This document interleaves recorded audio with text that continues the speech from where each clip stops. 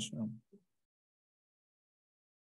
А, значит, сегодня у нас будет обсуждение, а, с одной стороны, некоторого вот ноутбука, который сделал Антон Костин а, по анализу генов, которые участвуют в таргетах, то есть то, что ну, нужно предсказать. После этого Полина расскажет в режиме журнального клуба по статью, которую рекомендовали организаторы соревнования. А, Антон, спасибо, что согласился рассказать. И Полина, большое спасибо. Ну, начнет Антон. Антон, начинай, пожалуйста. Спасибо. Что же, всем добрый вечер.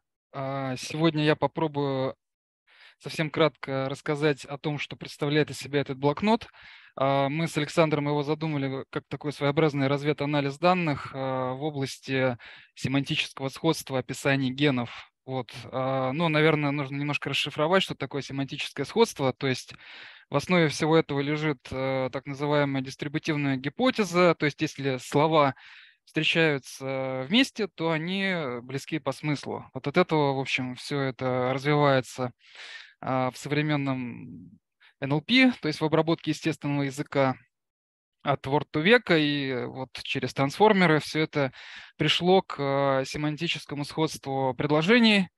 Ну и, соответственно, вот э, наше предложение – это описание генов, э, тех генов, которые есть в соревновании.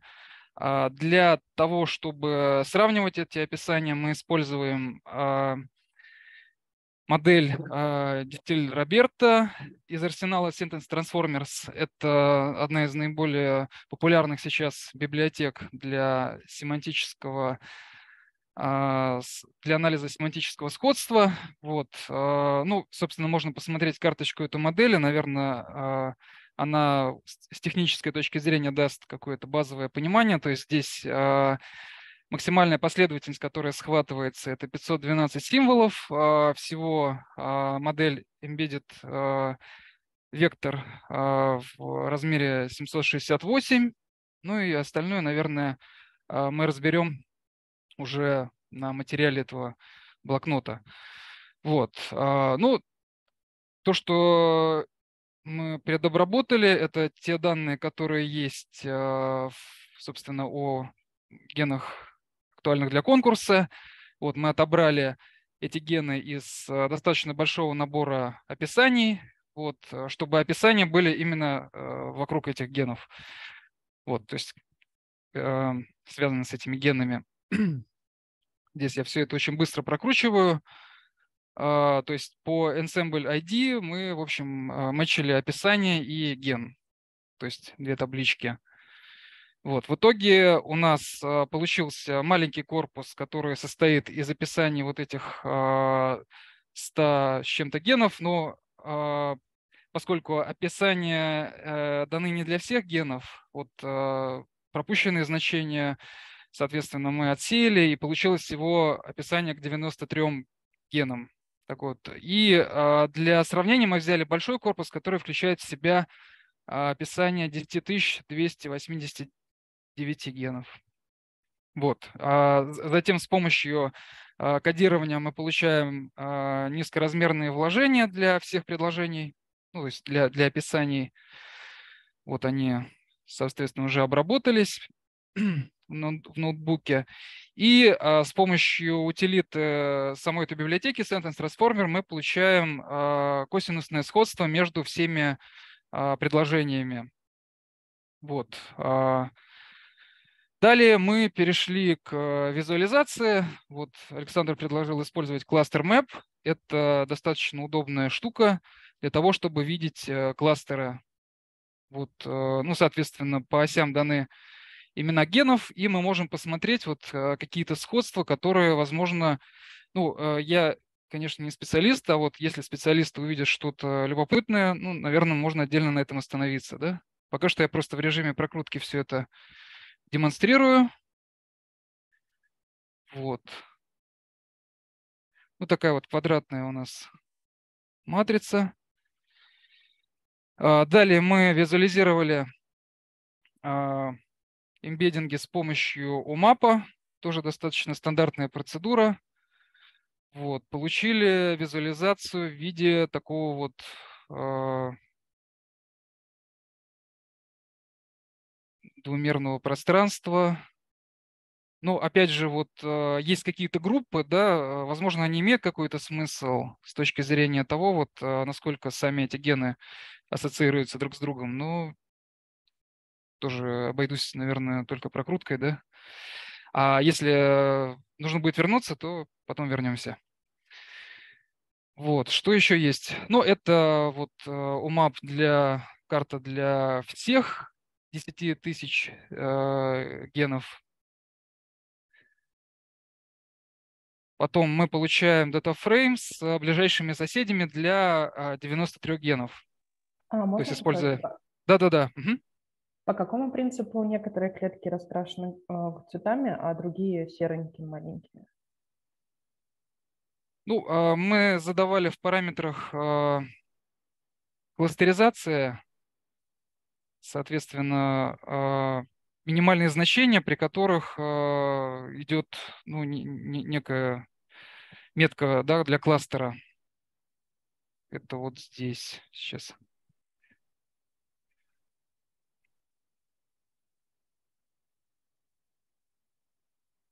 То есть в небольшом э, датасете у нас, э, ну, соответственно, не, небольшое количество да, компонент, а в большом большое. То есть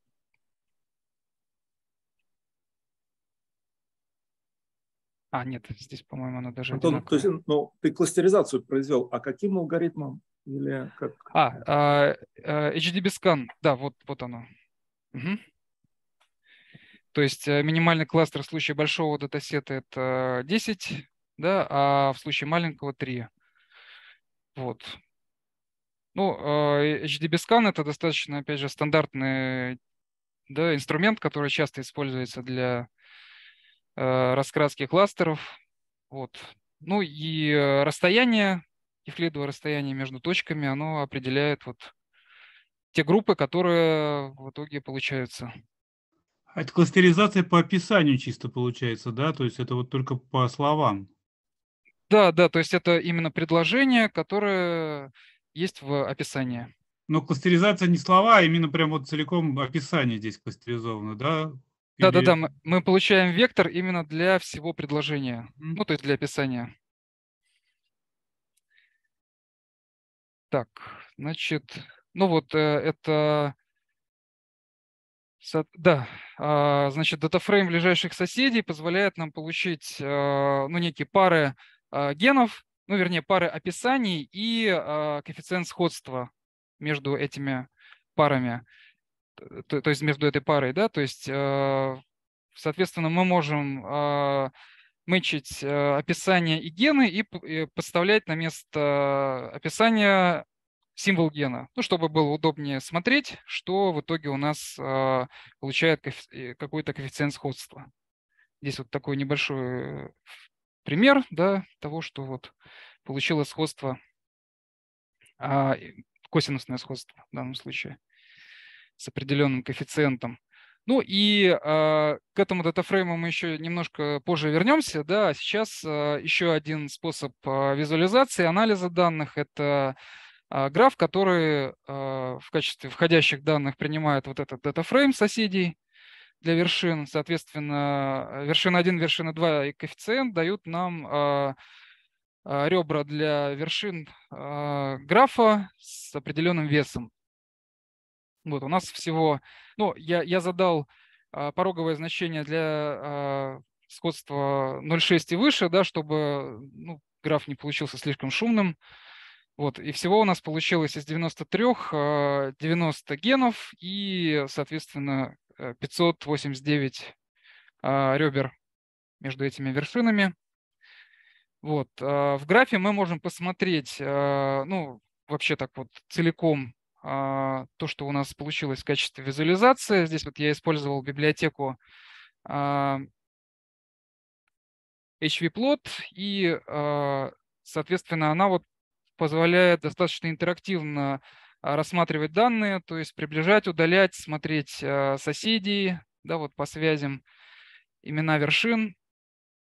Ну, такая достаточно удобная, на мой взгляд, визуализация, которая, возможно, пригодится да, для общего взгляда на граф. Вот. Ну и мы можем посмотреть клики, которые здесь э, образуются. Э, можем выделить э, максимальную клику. Да, вот, вот она. Тоже посмотреть вершины.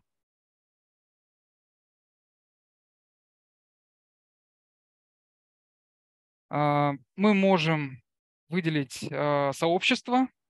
Вот здесь э, в графе всего э, получается 1, 2, 3, 4, 5, 6, да, 6 сообществ.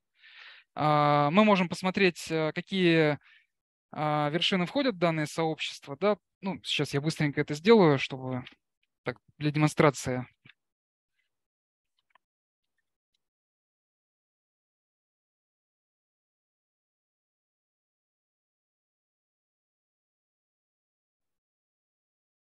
А можно ли пока вопрос э, вот а, что является критерием сообщества? Это какие-то наиболее близкие вершины к данной указанной или вот э, как это понять? А, да, я использую в данном случае алгоритм Лувейн, то есть, э, ну, условно, вершины бьются на группы до тех пор, пока связь э, внутригрупповая не превышает межгрупповую. Вот. Mm-hmm. Так. Угу. Окей.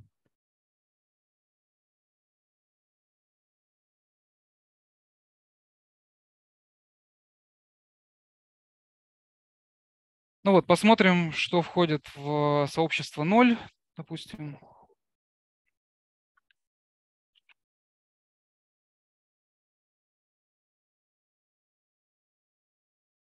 Ну вот так, э, такие наборы да, генов э, для каждого сообщества мы можем посмотреть и посмотреть, насколько осмысленными вообще эти сообщества являются. Тогда идем дальше. А, Да, тут оно, оказывается, уже есть. Да, мы можем посмотреть, естественно, по мерам центральности, э, проранжировать вершины в графе, да, и посмотреть вот в качестве двух примеров. Я взял, с одной стороны, PageRank, то есть, условно так, если совсем, да, в общем, это важность вершины в своем кластере, и центральность по посредничеству, которая показывает важность вершины как посредника между двумя другими вершинами, то есть через эту вершину проходит, проходит их наикратчайший путь. Вот, ну если сравнить, да, вот здесь, э, ну, с, как вы видите, нет таких чемпионов явных э, по рангу. То есть примерно здесь вот э, более выраженное, да, вот посредничество. Вот. Ну и для того, чтобы, может быть, так в целом посмотреть на э, важность вершин по тем или иным мерам центральности, можно использовать вот такой график, который, опять же, показывает по осям X центральность по посредничеству, по осям Y PageRank, и мы можем посмотреть, вот, ну, наверное, PageRank э, интереснее в данном случае, да, что сюда входит. Вот, опять же, я использую библиотеку Бакет для визуализации. Тут можно приближать, удалять. Ну, в общем, достаточно удобно смотреть. Особенно если вершины а скучные. Что вообще дает вот э, эта кластеризация? Как она ему поможет э, набрать хороший скор? А, что, что, что, как она может предсказание улучшать? Сейчас давай я на вопрос отвечу. Uh-huh. То есть э, это скорее, значит, смотри, э, мысль э, такая, что с одной стороны, это вообще-то ну, не для, так сказать, прям вот э, скора, но можно для скора тоже использовать. Почему? Потому что вот нам нужно предсказать каждый из этих э, протеинов, да? Угу. Но предсказывать мы должны через там э, типа 20 тысяч РНК, РНКовых генов. Угу. Понятно, что эти 20 тысяч, они совершенно, это, ну, реально для предсказания понадобится, ну, не больше сотни. То есть, ну, логично, по, да. Потому, поэтому у нас, как бы, если мы будем использовать все, это будет огромный overfit и, как бы, ну, и, в общем, сложно. Поэтому, в принципе, одна из задумок – это как-то вот понять именно, какие э, гены нужны для предсказания какого э, протеина. Да? Но это, в принципе, можно сделать вот так, да, то есть, но как бы э, разбить на кластеры, посмотреть, просто ближайший к данному а, протеину. Да? Ну, слушай, а все равно не очень понимаю. То есть у нас э, э, есть описание генов, э, есть протеины, но мы берем базу вообще всех описаний всех генов. Ну, да, ну как, ну, И как смотри, это не совсем... Э, тут сейчас... Непонятно вообще идея, если честно. Ну, как бы мы говорим, ну вот у нас есть описание, да, ну, соответственно, если описания близки, они, наверное, как-то близки и э, ну, по биологическому смыслу, да, но если там написано, этот протеин там делает то-то, а второй там делает то-то и вот еще другое. То есть они как бы должны быть взаимосвязаны. Поэтому эта идея так не лишена, э, ну, не совсем лишена смысла. Но мы смотрим, что описание только генов или протеинов тоже? Подожди, подожди. Тут какая ситуация? Тут э, мы посмотрим всего, ну, во-первых, как бы гену э, отвечает РНК и протеин. То есть там нужно протеины предсказать, ну как бы, как сказать, тут ну, как бы хотелось бы а. дизайн какой-то понять. Подожди, ну вот как обычно в биологии, что у нас есть ген, Да-да-да. у него делается РНК, а из РНК так. вторым этапом делается протеин. Ну, То есть понятно. один ген, он как бы кодирует и фичу, и таргет. Понимаешь? Да. Поэтому мы можем, мы смотрим описание генов, которые одновременно и фичи, и таргеты, да, поэтому, ну, как бы логично, что, э, ну, как бы, если они, биологическое описание, оно не отличается, ну, в смысле, оно дано для гена, а там нету, как бы, разделения, что вот РНК то-то, а протеин то-то. А можешь хотя бы просто гипотезу вот озвучить? Я просто не понимаю, вот правда, вот, ну да, я, я понял, э, что можно кластеризовать, а какая гипотеза? То есть мы от... То, что если от... ты, ну вот посмотри, ты берешь, э, какой, тебе надо предсказать протеин для гена, ну не знаю, вот там А1БГ. Так. Мы берем близкие к нему э, гены с близким описанием. Не знаю, 100 генов с наиболее близким описанием. Засовываем их в модель, строим модель только на это. Непонятно? Ну, понятно. А мы знаем точно, что вот эти гены э, связаны с этим протеином? То есть нет, ты засовываешь нет, модель, ты уже ну, сразу как, отбираешь... Нет. Мы этого не знаем, да, это слабое место. Конечно, что э, это, ну, как бы если описание связано, это ну, как бы не гарантия того, что для модели это хорошо сработает. Да, тут важно, наверное, уточнить, что речь идет именно о семантическом сходстве предложений, то есть, что они по смыслу близки. То есть, ну, допустим, э, там э, кошка ловит мышей, да, и, допустим, там э, у кошки есть котята, да, вот э, эти предложения, они, допустим, близки по, по, по, по векторам, да, и мы можем говорить, что вот речь идет о чем-то похожем. Вот, ну, здесь у нас описание генов, и, соответственно, вот мы предполагаем, что некий такой смысл, семантический смысл для биологических объектов тоже, ну, вот, по сходству может быть таким Скажи, образом. А мы в таргет, мы все протеины, то есть мы берем все, ну, условно говоря, в идеале мы бы взяли все гены, которые есть э, вот, э, да, в датафрейме, а на выход поставили бы сразу все протеины и хотели бы, чтобы условно в идеале бы сам, наша модель предсказывала э, по, всем, по всем генам сразу все протеины. Точно, да, по всем генам все протеины. Но а мы хотим это как-то э, немножечко это все, ну, то есть сделать какой-то инжиниринг к этому прикрутить, чтобы ну у нас да, это... мы хотим сократить, угу. да, потому что, ну, как бы такой опыт, что э, там 20 тысяч генов, они э, как бы не нужны. То есть всегда делается некоторая dimensional reduction. То есть мы хотим разделить как бы фичи, то есть сделать несколько отдельных моделей, которые как бы отдельные какие-то гены предсказывали отдельные какие-то протеины, сгруппировать. Ну, можно так, но тут дело не в отдельности, можно ко всем посмотреть. Просто мы хотим выбрать только те гены, которые вот а, релевантны таргетам, да, и желательно их поменьше было бы. Вот. А, а, а релевантны они только потому, что они схожи в описании. А да, а если, вот это, а это если слабое два, место, а если, да. Хорошо, а, а если два, два разных гена как бы участвуют в создании одного протеина.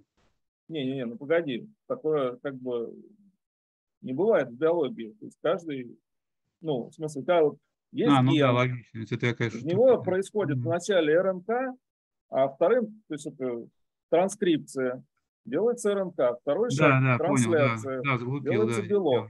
Угу. То есть там по модулю всяких деталей, типа альтернативного сплайсинга, которые нам сейчас не нужны. Ген, ну, как бы один ген, он и, при... угу. И РНК, как бы, и белок кодирует. Да, логично. Вот. Я теперь все понял. Угу. Конечно, а, то, что мы вот сейчас смотрим по описаниям, это ну, такой как бы немножко игрушечный пример, да, но у него как бы какое достоинство, что а, если близать по описаниям, то это есть какой-то биологический смысл, да, потому что а, как бы раз описания близки, значит, ну, как бы люди не зря писали эти описания, значит, это, в этом, за этим стоит какая-то биология. Э, то есть никто так на самом деле, конечно, не делает на, на Kaggle, никакой Data Science так не делает, все делают наоборот. Мы строим модель, там, делаем feature importance, отбираем самые важные фичи. Но проблема дальше будет э, с тем, чтобы как-то понять, эти, э, то, что у нас вот модель нагенерила, модель сама может сказать, что нужно оставить там такие-то, такие-то гены. Мы можем это доверить модели, но вопрос будет потом, а какая у этого биологическая интерпретация? Да? То есть, ну, как бы мы хотели бы сразу же а, целиться на больше, не, не просто фичи отобрать, но еще какую-то биологическую интерпретацию получить. Для этого вот, ну, как бы как одна из попыток, это вот совместить эти два подхода. То есть пока что мы сделали чисто по описаниям, а дальше сделаем по модели, и, и, ну и посмотрим, есть ли какие-то Угу. А, а вот я правильно понимаю, что вот это сейчас задача 2, где по транскриптому нужно предсказать CD-белки э, содержание? Это оно, да? Да. Да. Ага. Да, но я как вот биолог тут могу попробовать э, тоже немножко прокомментировать. А, да, видимо, вот с точки зрения биоинформатики, наверное, тоже осмысленный способ а, объединять, э, группировать белки по их описаниям. В принципе, это логично, потому что если белки выполняют одну и ту же функцию, у них примерно одно и то же описание. Отличается только цифрой или буковкой. Вот какой-нибудь рецептор 1, там рецептор 2, рецептор 3. А, вот. А, но есть, в общем-то, в биологии большое количество других отношений между белками уже. И а вот как раз, может, у Михаила тоже, и, наверное, у всех мало такого понимания, что здесь действительно стык биологии и математики происходит. То есть для того, чтобы предсказать полностью, а, а, ну, как сказать, наиболее близко сделать предсказание, нужно понимать, а по каким законам меняется содержание вот этих таргетных белков в зависимости от а, а, МРНК, которые нам даются на входе. То есть, в общем-то, да, а мы принимаем исходно такую аксиому, что один ген кодирует одну МРНК и один белок. И поэтому в этом плане это ничего не меняет. А, но с другой стороны, а, после того, как там белки наработались, дальше начинаются другие отношения между э, этими белками.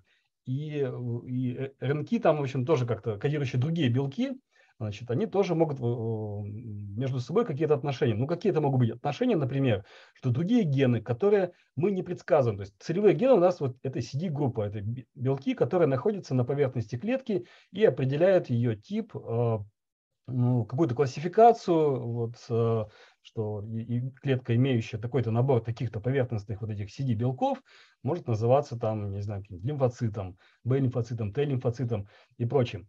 Но помимо них на вход дается данные а, гораздо большего числа белков. Так понимаю, там несколько тысяч белков. И мы их не знаем, а, что они такое делают. Вот для информатиков это такая, получается, а, некая коробка, которая как-то меняется. Вот. И модель должна схавать все там несколько тысяч этих изменений содержания этих РНК и потом сказать, а вот эти, которые таргетны там несколько сотен CD, должны в данном случае поменяться так-то. Если такая-то конфигурация на вход этих вот нескольких тысяч, то такая будет конфигурация этих CD-белков.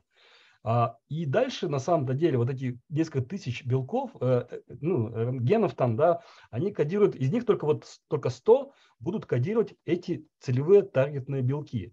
Остальные тоже будут кодировать белки.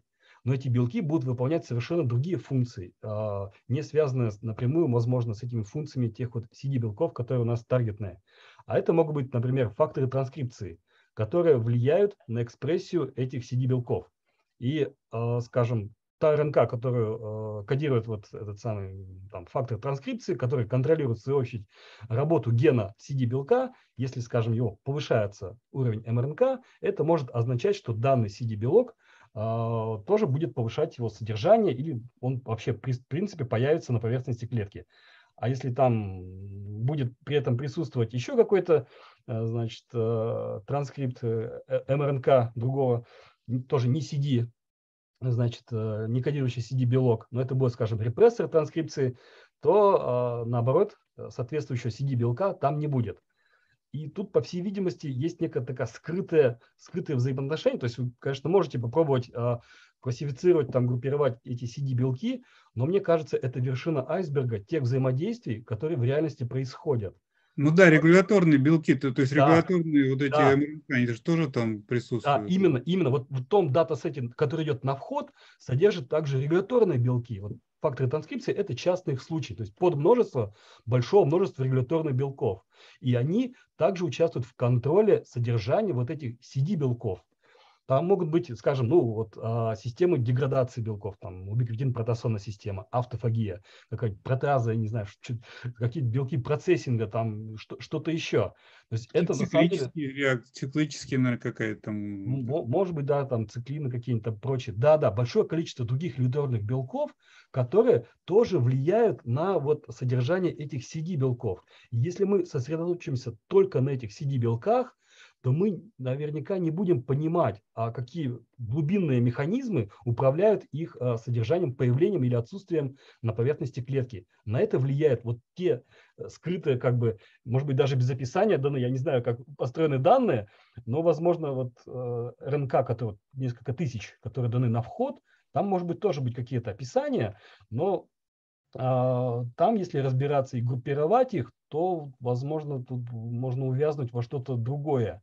Но просто, видимо, это надо держать в голове, что а, вот, на, наличие вот этих CD-белков на поверхности клетки, их содержание будет также а, вот, контролироваться теми, скажем так, РНК, которые вот не представлены там в CD-наборе. И, э, вот, и, и, наверное, также справедливо, что не все эти несколько тысяч определяют, то есть не нужно все эти несколько тысяч как-то внимание, значит, они, вот скорее так, они скорее шум создают для того, чтобы понять, э, что есть только, может быть, десяток, там, два десятка именно этих э, регулирующих факторов, которые контролируют именно заданный CD из того набора таргетов, которые надо предсказать. И, наверное, здесь Информатически самая сложная задача – это вот отсеять этот шум из этих нескольких тысяч и найти несколько десятков именно тех истинных регуляторов, а, содержание которых, ну, может быть, там, не знаю, с, вот, с вероятностью на 80-85% от них зависит появление или отсутствие CD-белков из таргетного набора. Вот, наверное, в этом будет а, наибольшая задача. Вот, и, но при этом, наверное, понимание – что некоторые CD, то, то есть чем еще полезна на самом деле группировка вот этих CD-белков, а, вот, то, что я участвовал в обсуждении в чате, что некоторые из этих CD, они скоррелированы, что если есть один CD, то с ним будет и другой.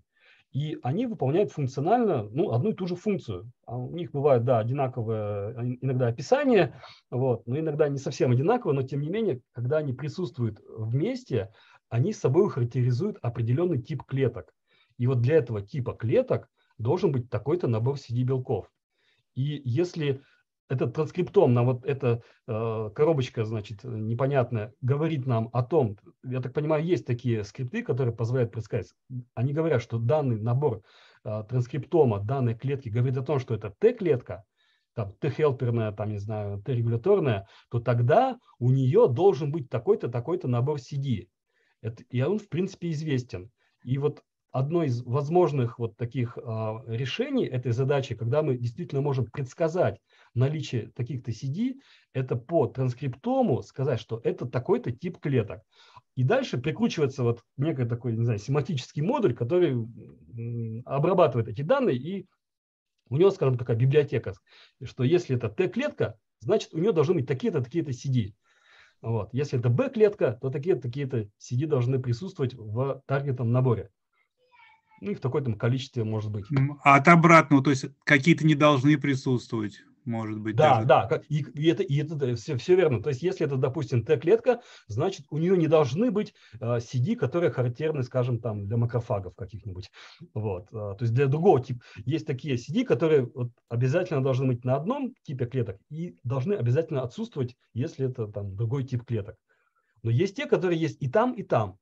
И вот, наверное, биологически осмысленная классификация, это, наверное, может быть действительно привязать к типам клеток, вот, что и это известно, вот в чате были эти а, многочисленные, значит, а, таблицы даже, я выкладывал там, другие люди находили большие таблицы, где а, показано, что в данном типе клеток должны присутствовать такие-то, такие-то CD. Ну и, соответственно, отсутствовать другие, по всей видимости.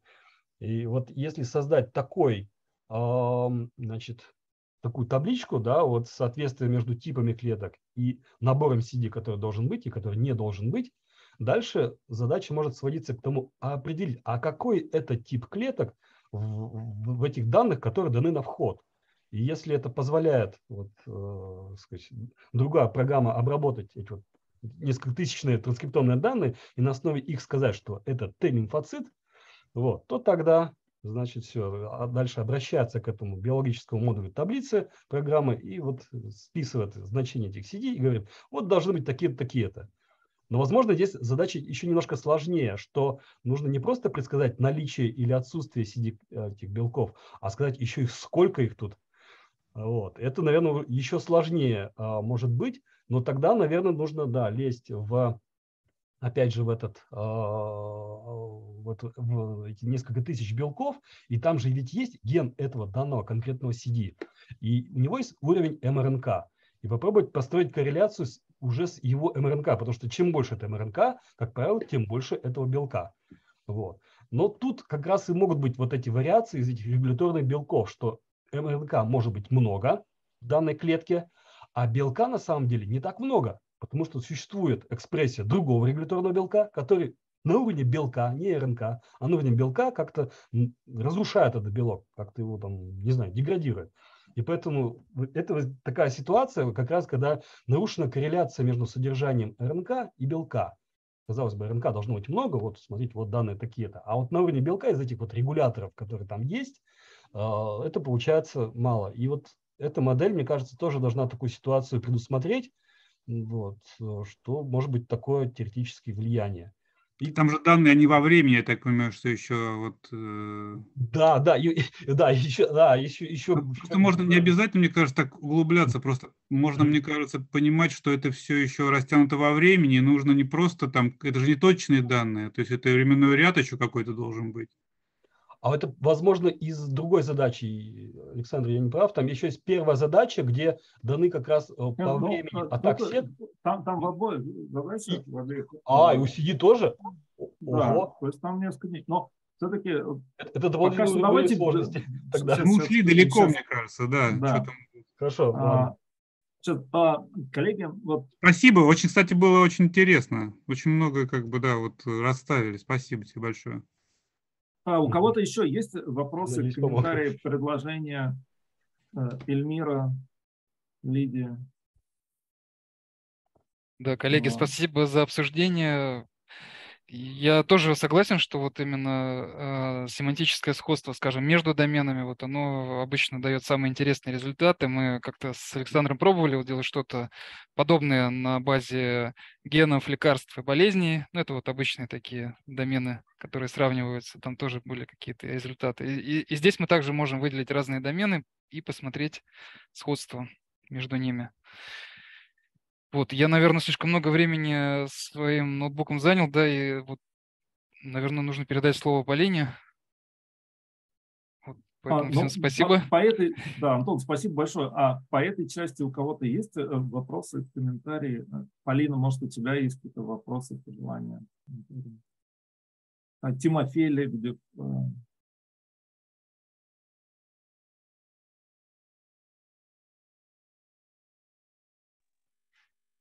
Не, вопросов нет. Мне кажется, что как раз Э, Дмитрий все более-менее все верно сказал. Только там как бы основная эта проблема как раз то, что успешно тип, подтипы клеток не получается предсказать по, по экспрессии CD, даже, даже имеет стометрию. То есть это просто область не до конца изучена экспериментально. Да, вот это, это интересно. Может быть, как раз, а, ну не знаю, какая-то интенция организаторов этого а, соревнования, может быть, действительно построить какую-то модель, как-то уточняющую, какие могут быть CD э, а, присутствовать типа, там, подтипах клеток, потому что я тоже читаю экспериментальные статьи, вижу, что, допустим, какой-нибудь там, не знаю, CD38 на B-клетках присутствует только у 3% этих B-клеток. И тут получается, что да, вот некая такая, да, как бы сказать, нельзя даже построить вот такой однозначный словарь, что вот у данного типа или подтипа клеток должны быть такие-то CD. А, Это тоже какой-то вероятностный процесс получается. Вот, если они тоже, вот, либо они есть, либо они нет, и, может быть, вот э, как раз, наверное, этот транскриптом-то в себе содержит, наверное, какие-то данные, а, позволяющие ну, более-менее точно предсказать. Но я думаю, что на 100% мы не, никогда не предскажем а, данный тип клеток. Поэтому идет борьба за, вот, насколько мы, на 70, там, на 80% приблизимся. до 20% мы ошибемся, что происходит. И, наверное, транскриптома здесь данных просто недостаточно. С точки зрения биологии так. А, то есть нужны какие-то еще дополнительные экспериментальные исследования, и настолько сложны взаимодействия между белками, вот этими генами и прочими, что обладая только одним датасетом, крайне сложно ну, приблизиться, там, может быть, даже к 90%, очень сложно приблизиться к такому предсказанию. Недостаточно данных, показывающих всю сложность вот этих взаимодействий. То есть вот я думаю, что да, на 100% нельзя ориентироваться, поэтому нужно вот, ну да, действительно посматривать, как профессионалы на Kaggle, э, с какой точности они достигают, то есть это около, я так понимаю, 80, там, 85%, то есть вот, видимо, это, да, вот такой уровень данных, э, предсказания данных, ну вот, да, из-за того, что не, мы не все знаем. Но если мы хотя бы попробуем ну, предсказать вот эти корреляции, там, антикорреляции, на основе их вот, экспрессии генов, на основе их вывести некую модель, позволяющую ну, хоть на 85% предсказать содержание CD, наверное, это уже неплохо будет. Вот. Таких вещей. Да, но, кстати, вот по, по поводу корреляции для разных вот там ТЦВЕ, датасетов, там же есть э, данные протеомов и РНК-секов. Там, в принципе, можно, там, конечно, клеточные линии, но можно по клеточным линиям э, всяких, всяким кровяным выбрать, соответственно, те CD, которые хорошо коррелируют по МРНК и белку и плохо ну и уже будет какая-то информация, что какие-то CD можно просто напрямую да. предсказывать. А, кстати, да, наверное, может быть, тоже имеет смысл а, выделить подгруппы тех CD, которые мы хорошо умеем предсказывать, и те подгруппы, которые плохо умеем предсказывать. И вот а, если хорошо умеем предсказывать, то вот, да, создали некий под, как сказать, э, под скрипт, что ли, я не знаю, вот это, под модель этой модели, которая говорит, что вот если это тип клеток, то должны быть такие-то CD. Это из группы надежных. А дальше вот это темные лошадки, вот эта серая зона, те CD, которые вот то есть, то их нету. И уже, видимо, основная работа там, э, попробовать посмотреть, какие еще могут быть закономерности, и, может быть, как раз привлечь другие датасеты из э, экспериментальных статей. Люди же тоже исследуют, и там у них и протомы, и транскриптомы, может быть, какие-то вот, э, вестернблоты даже, такие вот единичные исследования, чтобы как-то, ну, это не знаю, мне кажется, слишком сложно. Да, тут, в принципе, много вот, интересных вопросов, но так, Полина, а, наверное, ну ладно, должны дать тебе слово. Да, Я на самом деле просто переживаю, что была анонсирована статья как э, топик э, мета. Я предлагаю рассказать, а потом еще, если какие-то обсуждения, вопросы, можно потом продолжить. Просто если люди, кто пришли именно послушать статью, чтобы они ее послушали, иначе будет, наверное, не знаю. Да, конечно. Так, ты можешь расширить? Уже мы немножко из тайминга совсем выбились, мы уже должны были закончить полностью, как бы, мне кажется, из, из, исходя из того, что мы договаривались вначале по таймингу. Вот, поэтому даже не знаю, а, сколько у нас есть времени. Я постараюсь за... Ну, я на полчаса рассчитывала, ну вот не знаю, у нас есть полчаса. Да, полчаса есть. Ну хорошо. Так, давайте тогда я постараюсь покороче и самое основное. Так, видно ли, видно ли вам мой экран? Да, сейчас видно, но не да, полный экран. Но не полностью, не полностью, да? Вот, хорошо. А потом можно продолжить обсуждение. Я, я извиняюсь, что я перебиваю. Важное обсуждение по кегола самим соревнованиям, это самое основное. А статья на самом деле только ну, такой гайд, на самом деле, вот, который порекомендовали организаторы. Вот, Статья называется Human Hematopoietic Stem Cell Lineage Commitment is a Continuous Process. Статья а, была там засубмичена или получена в 2016 году, опубликована в 2017.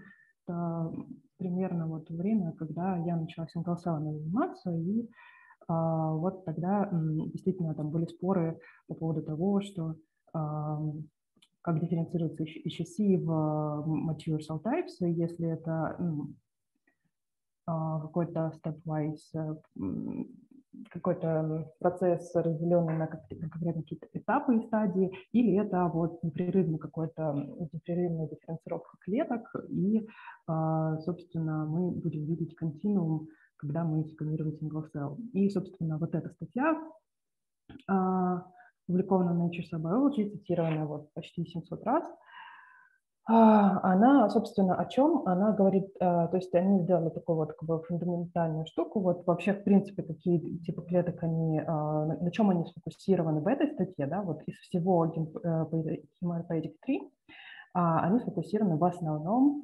вот как бы вот, вот тут, а нижние части, вот уже как бы mature cell types, они используют а, для того, чтобы а, как-то вот валидировать результаты, куда же приходят вот эти часы, действительно ли они, а, там выбранные прогенетры могут дифференцироваться в разные, то есть вопросы не ставят, действительно ли есть прогенетры, которые могут генерить разные mature cell types, или это какие-то истории такие, что вот из HSC напрямую получается унипатентный как бы прекурсор, да, который э, даст только там, один или два каких-то типа клеток.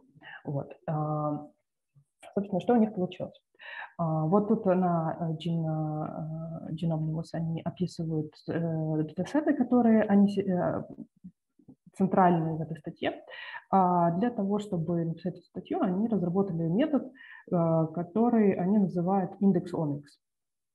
Вот индекс Omics, а, вот они пишут, что это which combines flow cytometric, single cell transcriptomic and single cell lineage free data. То есть они вот тут вот рассказывают о том, что вот они сделали sorting, они покрасили клеточки 11, uh, 11 типами клеток, 11 типами Market и э, насортировали их либо для синглцельного э, эксперимента, либо для э, colony forming assays, вот какие-то такие вот э, эксперименты, где в инвитро можно получить mature cell types да, и посмотреть вообще, в принципе, какие колонии формируют сортированные популяции и какие mature cell types у них получаются. Вот, то есть Таким образом, они могут на самом деле, вот, используя вот эти вот два линка, они могут косвенно как бы из транскрипционного профайла могут смотреть, что действительно по факту фенотипически получается э, из этих клеток. Там могут много раз повторять эти эксперименты туда-сюда, то есть какие-то там идентифицировать интересные кластеры в сингл-селе, потом, так как они знают, у них есть однозначно соответствие вот здесь вот между факсом и синглселлом. Они потом э, могут посмотреть на гейтинге, где это было, насортировать этот гейт, и потом это уже, естественно, будут физически другие клетки, но они будут обладать такими же как бы, э, характеристиками. Поэтому можно потом посмотреть, э, что там у них э, получается, какие типы клеток они продуцируют. Вот. И далее они, собственно, пытаются ответить на вопрос, точнее, как бы, ну, спойлер, да, они говорят о том, что а, вот дифференцировка из HSC к мультипатентным прогениторам – это континуум процесс, да, то есть это непрерывный какой-то процесс дифференцировки. А, так как я Именно вот с HSE в основном работала с мышками, вот, а там немножечко другие маркеры, то я тоже гуглила, когда читала эту статью, что же там они, как они называют эти клеточки. Вот. И, собственно, это очень важно, как бы вот, знать вот эти вот три, даже вот на самом деле вот эти вот две комбинации, lineage и negative, то есть lineage – это комбинация маркеров, которые характерны для э, mature immune cell types. Да, то есть это какие-то там маркеры типичные для Б-клеток, а, для даже для Т-клеток, чтобы их тоже исключить наверняка. То есть на самом деле коктейль Lineage, он выбирается там, для каждой статьи свой, но там у всех там, маркеры эритроцитов и, и так далее. То есть э, они, lineage э, negative, это значит, что это не mature cell types. А, вот. Лин – это э, такой ген, да? Это не ген, это несколько, набор генов, то есть какие-то там, я не знаю, сколько может быть, штук 8, штук 10 белков, ну, по порядку величины, оно может отличаться, а, которые вот э, они э, красят, а, которыми они красят э, эти клетки для факса. Вот. А эти а. белки это CD все, да? Вот, которые Наверняка большинство, да, но не факт. Ну, как бы не обязательно. Okay. Вот. Но это точно какие-то self-surface э, истории, то есть э, чтобы факс можно было. Хотя, наверное, если слишком увлечься. Ну, я вот могу предположить, что все-таки вот как раз это поверхностные белки, потому что на FACS е можно сортировать клетки, с которыми а, присоединились антитела против конкретных белков с вот э, флуоресцентной меткой. Скорее всего, это все тоже э, поверхностные белки, но вот входят ли они в тот набор, который в Kaggle, это, конечно, другой вопрос, на статью смотреть, но, скорее всего, это поверхностные. Иначе как они отсортируют на FACS е? Все... Да, да, да. Нет, я к тому, что, в принципе, на FACS е, если очень захотеть, вообще можно и внутри cell, внутриклеточные там, а, ну, но я думаю, в этом случае это, скорее всего, cell surface. А, вот, и я могу потом написать в чатик, а, скопировать, какие именно они, из, если они указали, потому что иногда бывает, что они такие, да, очевидно же, вот, для людей, которые биологи в этой сфере работают, для них это очевидно, иногда бывает. Вот, а, тем не менее. Итак, а, далее, линочный негатив и CD34 позитивные – это immature um, HSCs, их там какие-то самые-самые ближайшие мультипатентные прогениторы. Вот. Далее более uh, как бы, эту популяцию можно разделить на две популяции. Uh, то, что они uh, называют CD38 негативные, это вот как раз-таки менее mature progenitors. progenitors. Они тут их называют мультилимфоид progenitors. Вот тут у меня как раз-таки из-за того, что я в основном с мышками работала, немножечко диссонанс, да, потому что почему, почему они называются именно мультилимфоид, а где, как же милоидные э, ветви, но тут я, наверное, просто не эксперт, поэтому я вот немножечко тут не знаю, если кто-то знает, вот буду рада, если подскажут. И а, они, собственно, говорят, что вот в, этом, в этой группе, если насортировать эти клетки, то а, кластеры будут, получается, как бы unstable, то есть клетки будут очень а, такие, как бы, как в облачке, да, то есть там можно их разделить на кластеры как, как угодно, и они будут а, высоко а, связаны друг, друг с другом. И вторая группа клеток – это вот CD38 положительные, это уже более дифференцированные прогениторы, они а, а, разделяются уже гораздо лучше на отдельные кластеры, которые гораздо, вот эти отдельные кластеры между собой меньше связаны, то есть disconnected cell types. Вот. Что, собственно, как, сколько клеток у них было и кого они секвенировали, они а, брали bone marrow а, здоровых а, людей, а, вот таких вот молодых относительно, да, вот 25, от 25 до 39 лет они указывают, а, и брали вот, э, вот популяцию H synthetic stem and progenitor cells. У них было два индивидуума, ну, как два человека. А из одного они получили тысячу примерно клеток, из другого примерно 400. Сразу говорю, что это статья, а, там, условно, когда они это сформированы, в 16-15 году, может быть, даже раньше, да, то есть тогда single cell, он был прям, ну, Тогда тысяча клеток это было круто. То есть сейчас, конечно, уже ну, где-то куча клеток, 10 тысяч – это стандарт для TNX, 100 тысяч, есть миллионы. Вот. Тогда было это круто. И еще они делали это не TNX, они это делали, надо было написать SmartSig 2. Если я правильно помню, а уже как бы есть SmartSig 3, у которого есть UML. По-моему, у SmartSig 2 он был характерен тем, что он а, ну, почти все гены детектил, а, больше, чем другие методы, э, основанные на droplet-based methods. Да, там, но у него не было UMI, если я правильно помню, то есть там именно в count-матрице будут риды, то есть циферки там будут, скорее всего, побольше. Вот. То есть это вот те риды, которые после PCR amplification получаются, и э, то, что допустим, в одной клетке какого-то гена было там, написано 10 ридов, да, в матрице указано, это не значит, что 10 физических РНК там было. Может быть, это была одна РНК, но она 10 раз амплифицировалась.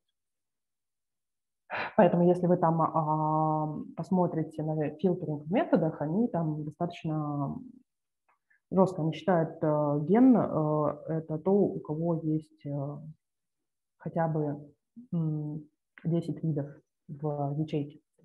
Вот, что для EMI это будет прям очень жестко. Поэтому вот, обратите внимание, если будете смотреть на фильтринг критериев. Вот. А вторая картинка, она, собственно, подтверждает то, что у меня написано вот здесь словами.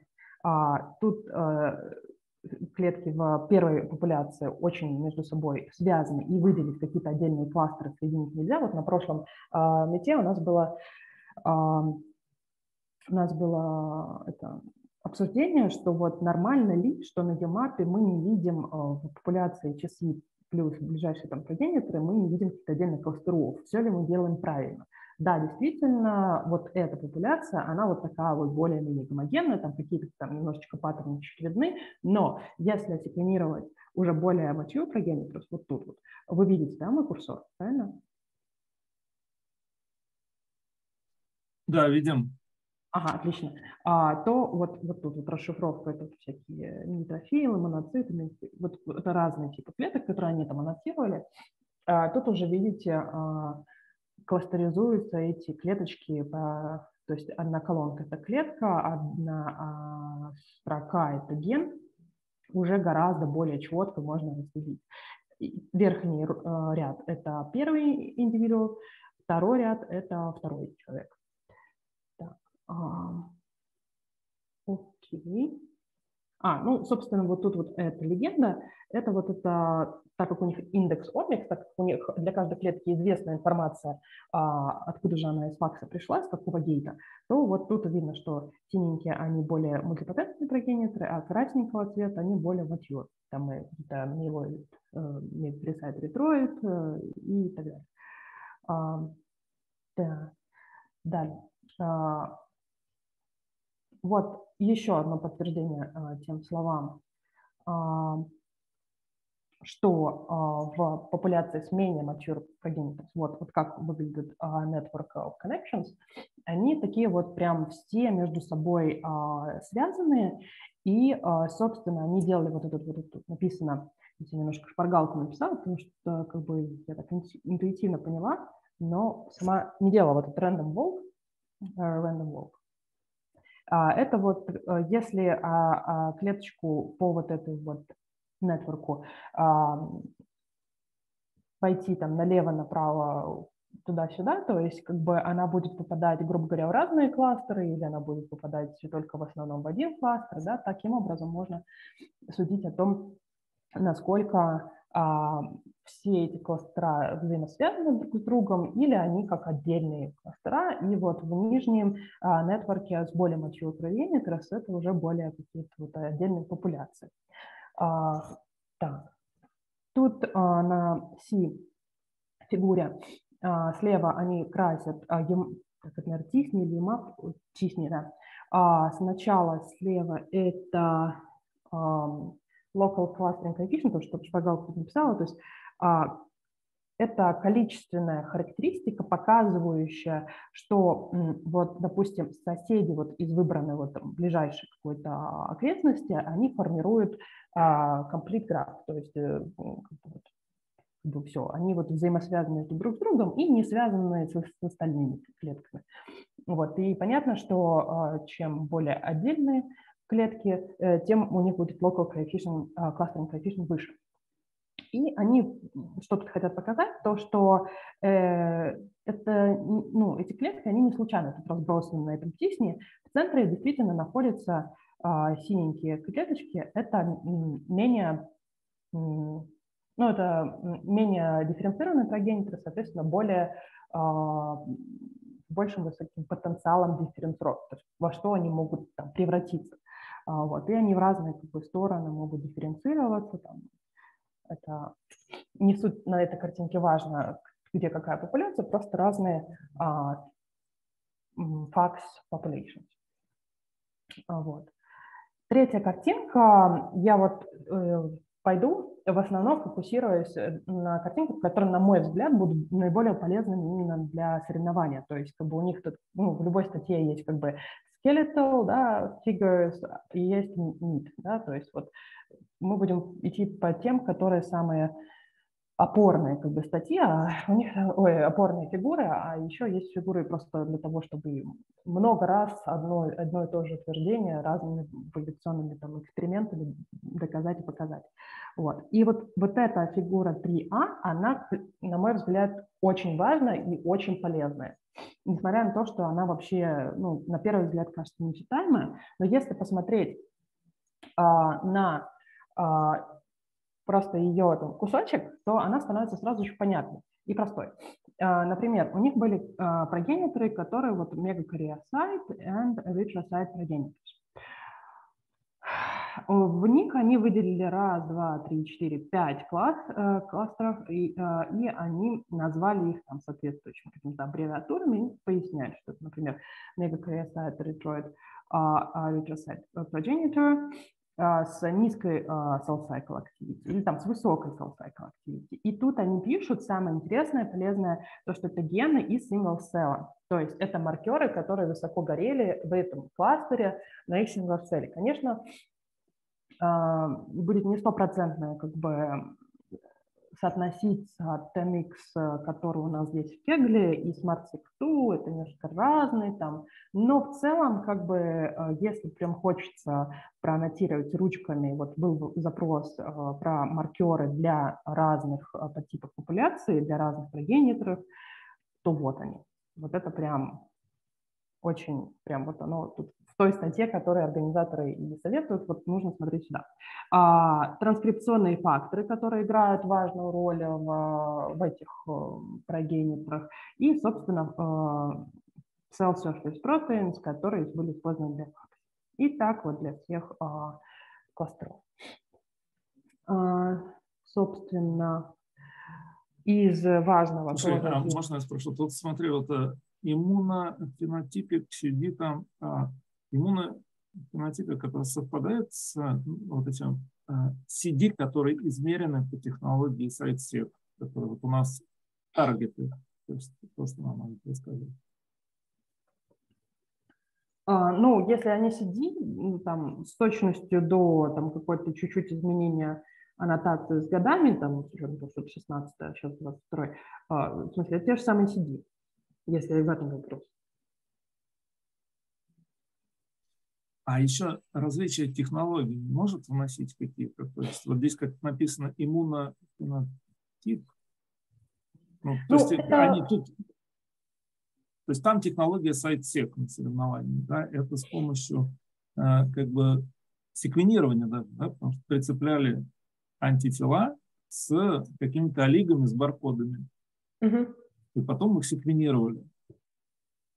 Да, секвенировали сами баркоды, то есть э, как бы каждому отдельному типу там, антибади для конкретного CD соответствует свой э, какой-то ДНК-баркод, который секвенируется. И по количеству этого баркода определяется, сколько было белка а, в этой данной клет, клеточке. Ну, а могут быть другие технологии, может быть, там какой-нибудь масс-спек, там еще, есть, вот, ну, или это не суть важно. То есть биологически, наверное, не очень важно, да, потому что, ну, ну раз есть факт. белок, то и есть белок. Да? Есть факт. То есть факс тоже через антибадис ты, вы эм, э, присоединяете к белку антитела, и по нему, к антителу присоединен какой-то флуоресцентный эта часть, которая э, в этом приборе факс может там, гореть на определенном канале. То есть принцип очень похожий. И там, и там э, используется связывание с антителами для конкретных белков, поэтому должно быть максимально, на мой взгляд, похоже, но какие-то конкретные технические там какие-то возможности okay. несоответствия я лично ну, не знаю, но чисто как бы так вот, если теоретически подумать, то должно быть еще похоже.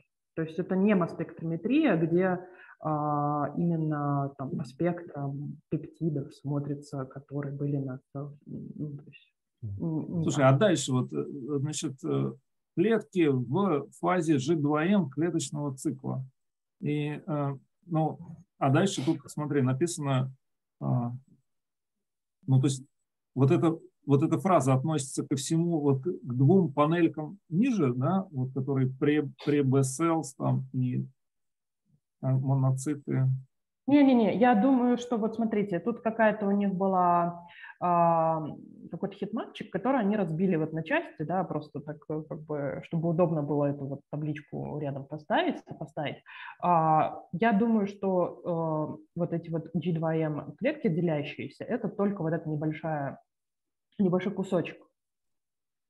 Вот. Внутри... Но подожди, но в этом небольшом кусочке не написано, какие, ну, небольшой да, кусочек. именно, я думаю, поэтому они серым его как бы обозначили, они аннотировали это как какие-то делящиеся клетки, потому что маркеры у них э, горели только отвечающие за cell cycle, скорее всего, они не смогли определить вот этот маленький, там сколько там клеточек, ну, там, не знаю, 10, 15, 20 клеточек, да, они не смогли их проаннотировать никакому типу отнести.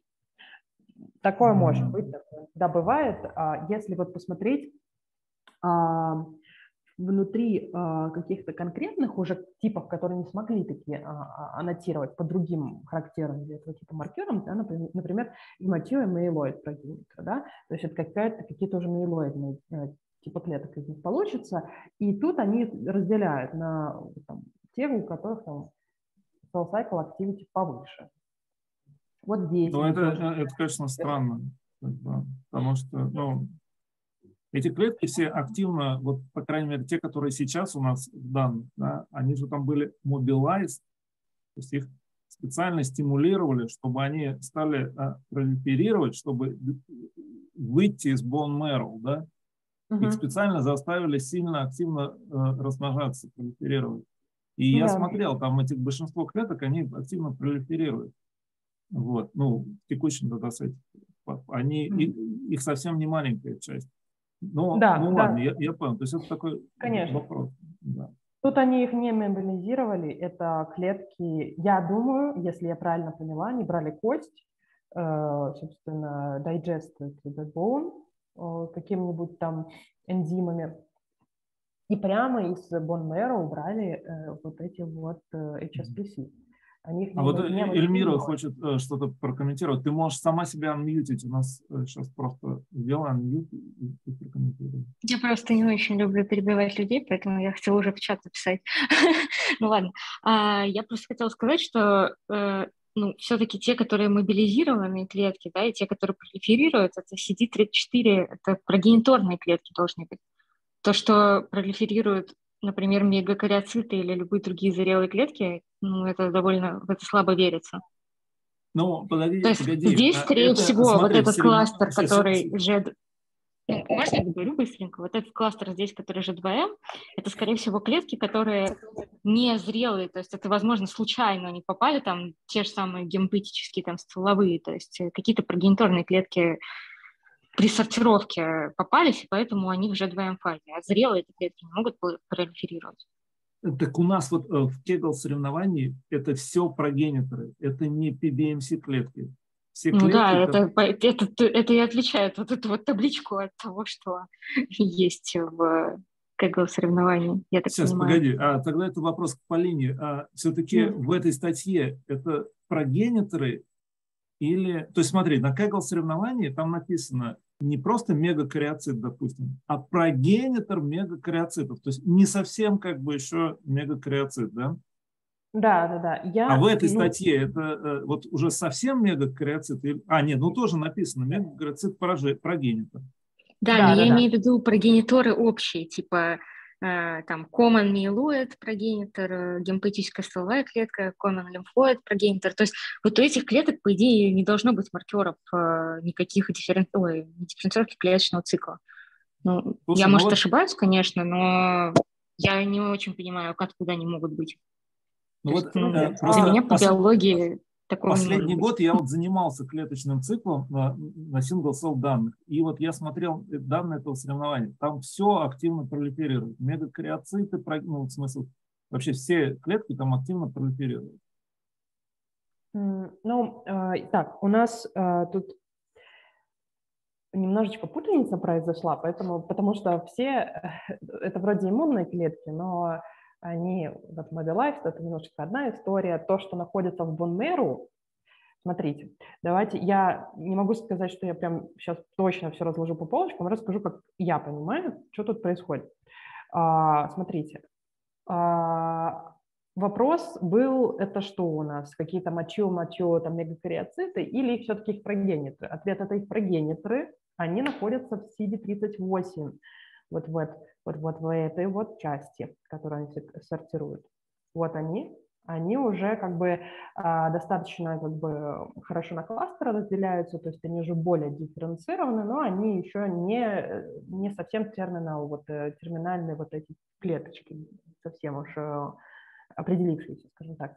И есть у них CD38 минус а, часть, среди которых есть hematopoietic stem cells, которые, по идее, могут превратиться во все иммунные э, э, и кровяные клетки, и их прогениторы. Вот они такие вот как бы более-менее гомогенные. Может быть, если я правильно поняла э, то, о чем говорила Эля, это то, что вот это вот, вот эти вот небольшие кусочек клеток, у них не было, скорее всего, каких-то маркеров, каких-то линейджев, потому что они действительно могли прийти. То есть вот эта вся таблица, тут вот тут написано, она только для CD38 положительных, то есть более матиопрогениторов. Вот. То есть тут нету а, HSC и нету ближайших их самых вот этих мультипотент прогениторов, которые тоже еще во все могут превратиться. А, вот. а вот эта вот маленькая часть клеточек, э, чисто теоретически, да, действительно может прийти, э, может прийти отсюда, у них, у этих клеток, такие маркеры lineage горят не так ярко по сравнению с более мотивопрогениторс, но какая-то небольшая часть из них даже в бонмеру, даже вот не, не мобилизированная, она может как бы, э, пролиферировать. Вот. Э, такое, такое возможно. В целом, те э, прогенит, HSC и ближайшие мультипотентные прогениторы Э, давайте вот про cell cycle я отвечу э, немножечко попозже. Там будет отдельная статья, и я прям покажу, что происходит с cell cycle и что происходит вообще, в принципе, с активностью клеток от э, движения к HSC до разных вот этих вот lineage, точнее, ну, как бы, да, прогенитов. Так, вот здесь вот тоже важная штука. Немножечко я долго думала, что же они имели в виду. Тут они показывают, как они, собственно, выделяют эти типы клеток. А, вот они смотрят на этот компартмент CD38 положительный, CD34 положительный, до этого они уже lineage минус откинули, а, и берут вот это вот double positive population. И говорят, что это то, что они вот вначале меня смутило мультилимфоид progenitors или БНК cell progenitors.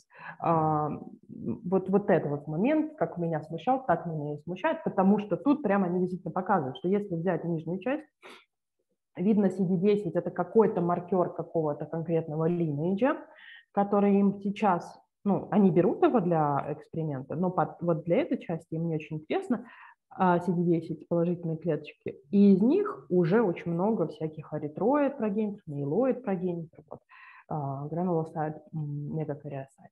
Вот. А, то есть э, тут можно прямо по маркерам смотреть, кто есть кто. Далее, а, что тут происходит? А, в этой статье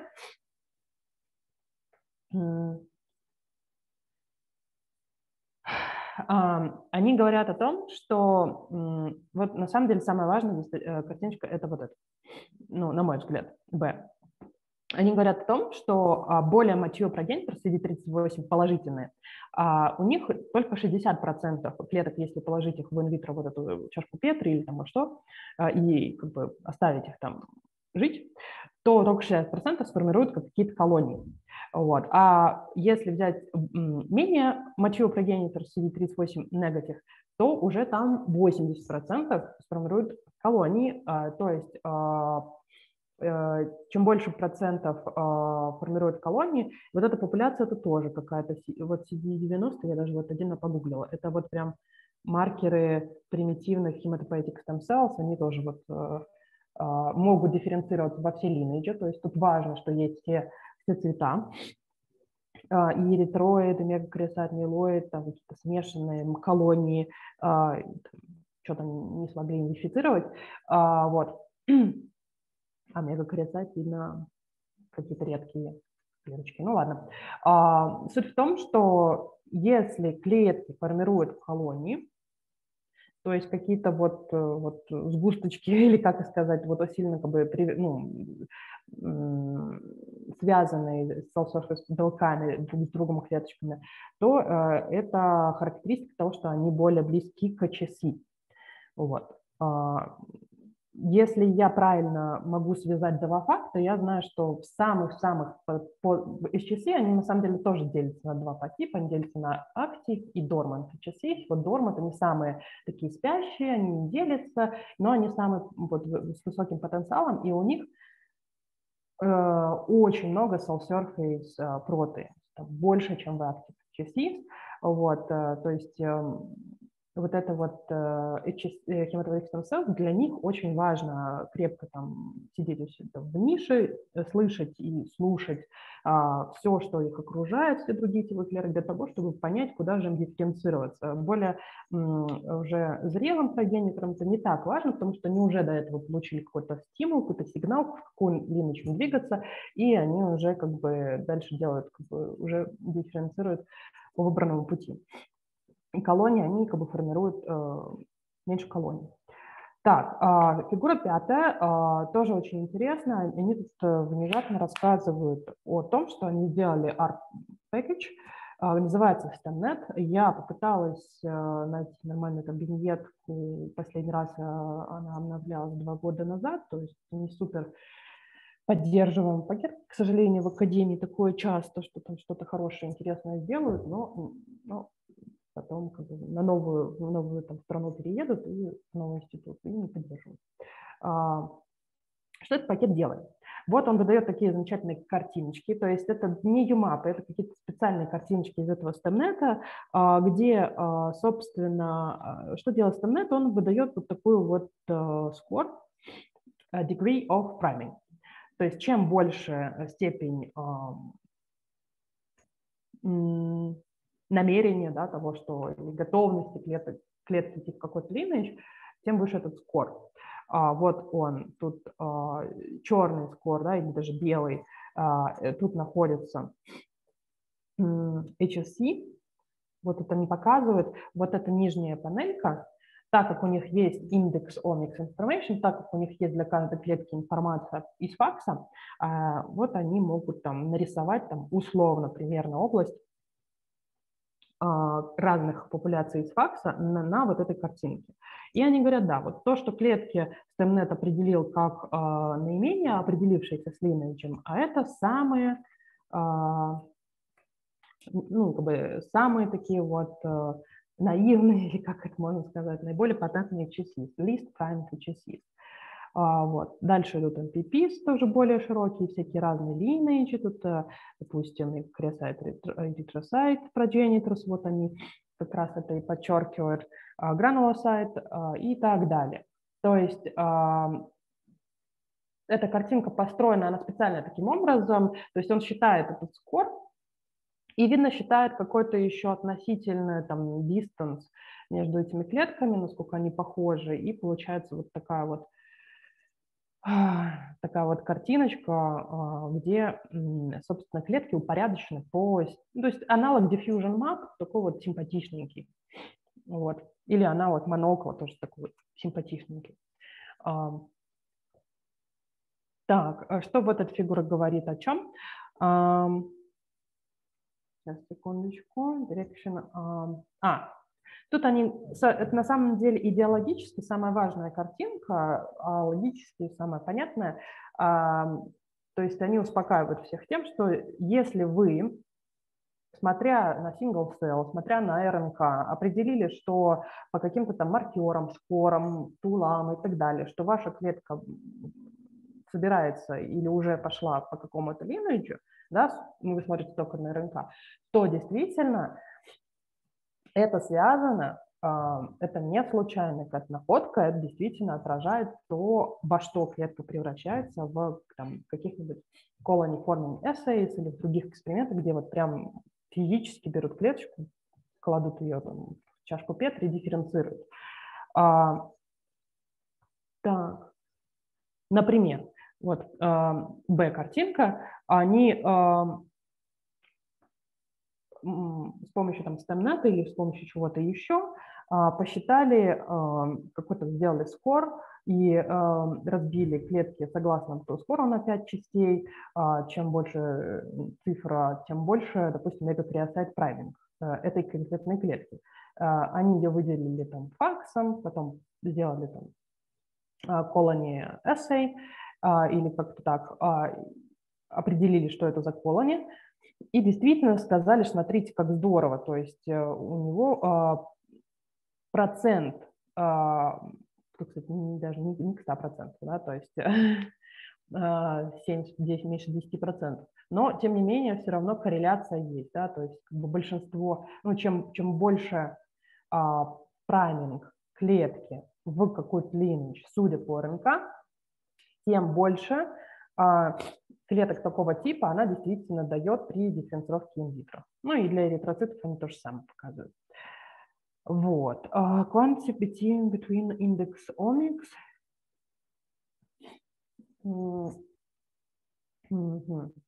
Чем отличается? А, ну и для... Они тоже показывают то же самое, uh, в принципе, только в профиль.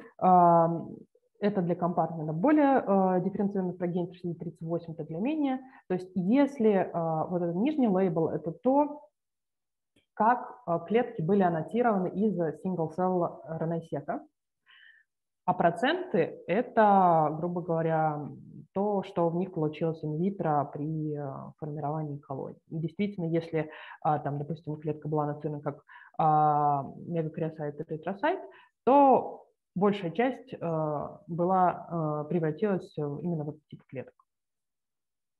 Вот. А если там лимфоид миелоид, то там другое. Меньше превращается в эритроцит, например. Фигура седьмая, на своих восемь. Э, так, что тут с фигурой седьмой важного? Ну, то, что я... Ой, извиняюсь. То, что я вам рассказывала, что HSCs, они больше любят формировать именно колонии, да, то есть какие-то не отдельные клеточки там разбросаны по, по чашке Петри, а такие сгруппированы.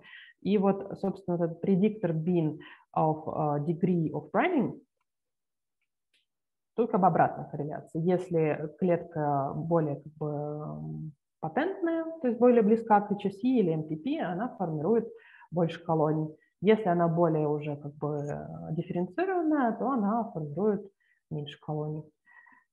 А, так, и а, восьмая. Может быть, тоже важной картинкой для Kegel Competition. Тут они а, говорят о известных, насколько я поняла, известных транскрипционных факторах, которые важны для того или иного линейджа. И они показывают усредненную экспрессию вот этих вот, то есть это транскрипционные факторы. Тут они напоминают, кто есть кто, где витросай, где там бисел и так далее, и они показывают, что, ну, то есть, если вам хочется как-то тоже вручную понотировать э, датасет из Кегла, можно тоже отсюда брать транскрипционные факторы. Вот, вот эту картинку я не очень поняла. Если честно, э, не буду врать, как, что они имеют в виду. Например, если посмотреть Gata, Gata 2 или Gata 2, он должен быть в мегакариоцитах, да, больше всего. Вот 2 ну, я не, не понимаю, то есть, почему здесь других выше. То есть, как бы, вот мне вот эта картинка понятна, а вот это нет. Если кто-то не разберется, пожалуйста, расскажите мне, потому что я что-то голову сломала и не додумалась, что они хотели показать. Вот. И, наконец-таки, отвечая на вопрос, что же происходит с клеточным циклом э, в этом датасете, вот в HSPC, которые сидят в ONR, которые не были мобилизованы. Так. А, первое, что интересно, а, stem cell properties, да? То, что я говорил про адхезию клеток, да, почему HSC формируют больше колоний, да, у них больше, там, например, а, cell surface белков связан с адхезией. Вот она чуть-чуть немножечко, там не видно, на самом деле голубая эта линия, она немножечко спадает со степенью а, праймированности, да, то есть как бы как степень дифференцировки. А, то же самое там сигналинг, а, липиды а, тоже падают со степенью дифференцировки. А вот касательно метаболического паттерна, да, что происходит, на рибосомальной экспрессии становится больше, все процессы как бы с дыханием, oxygen, вот respiration тоже больше, трансляции становится больше. А, так, и cell cycle entry, вот он увеличивается. То есть а, в первом бине э, тут находятся самые такие а, highly potent HSCs и progenitors, а, тут э, cell cycle низкий, и он сильно так увеличивается ближе к определившимся прогениторам. И самая визуально приятная картинка это там 8D, где они вот мы начали с вот схематического гематопоэтик 3, а тут они показывают, ой, гематопоэтик 3 а, согласно их данным, а, как у них получилось.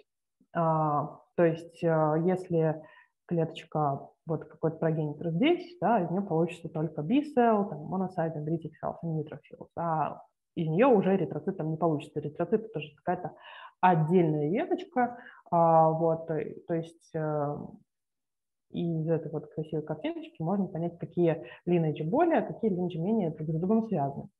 И, а, наконец, в виде такого summary я сделала слайд а, с напоминанием о картинках, фигурах, которые, на мой взгляд, могут быть полезны для этого Kegel Competition. То есть 3А, напомню, что это вот эта картинка, где взяли более бы уже mature progenitors, но все еще progenitors, CD38, и аннотировали их. То есть а, почему именно их? Потому что тут как бы никаких особо даже кластеров не получилось. Тут-то хотя бы какие-то маркеры видны, тут они как бы смогли как-то кластеры аннотировать, тут никаких кластеров не было, поэтому только для CD38 есть такая картинка, вот, на мой взгляд, полезно. Далее, 8А а – это транскрипционные факторы, характерные для разных lineages. 8C а, – это что происходит э, именно вот таком, знаете, как есть геотермы, есть какие-то сигнатуры, есть какие-то процессы, вот на уровне процессов, да, что там происходит, миграция, липидные какие-то штуки, cell cycle, тоже идеологически, на мой взгляд, полезная штука. А STEMNet, не знаю, так как он не монтейнится, этот тула, насколько она будет полезная, но если получится запустить здорово, да, идеологически прикольно то, что она там у нее есть э, список генов, но может быть полезнее вам будет, вы сами можете написать похожую тулу быстрее, чем если она там уже не особо выпускается, а может не запускается. У меня а, не было доступа к supplementary таблицам. Если у кого будет доступ, а, вот они обещают, что в supplementary table 3 будут гены, которые StemNet использует для понимания, насколько клетка промирована в ту или иную, ну, в той или иной lineage.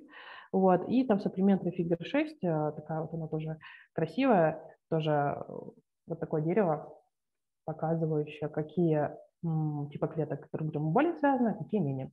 Вот. Все. Escape. Меньше, больше получилось времени, да, получилось 40, 45 минут. Вот. Какие у вас есть вопросы?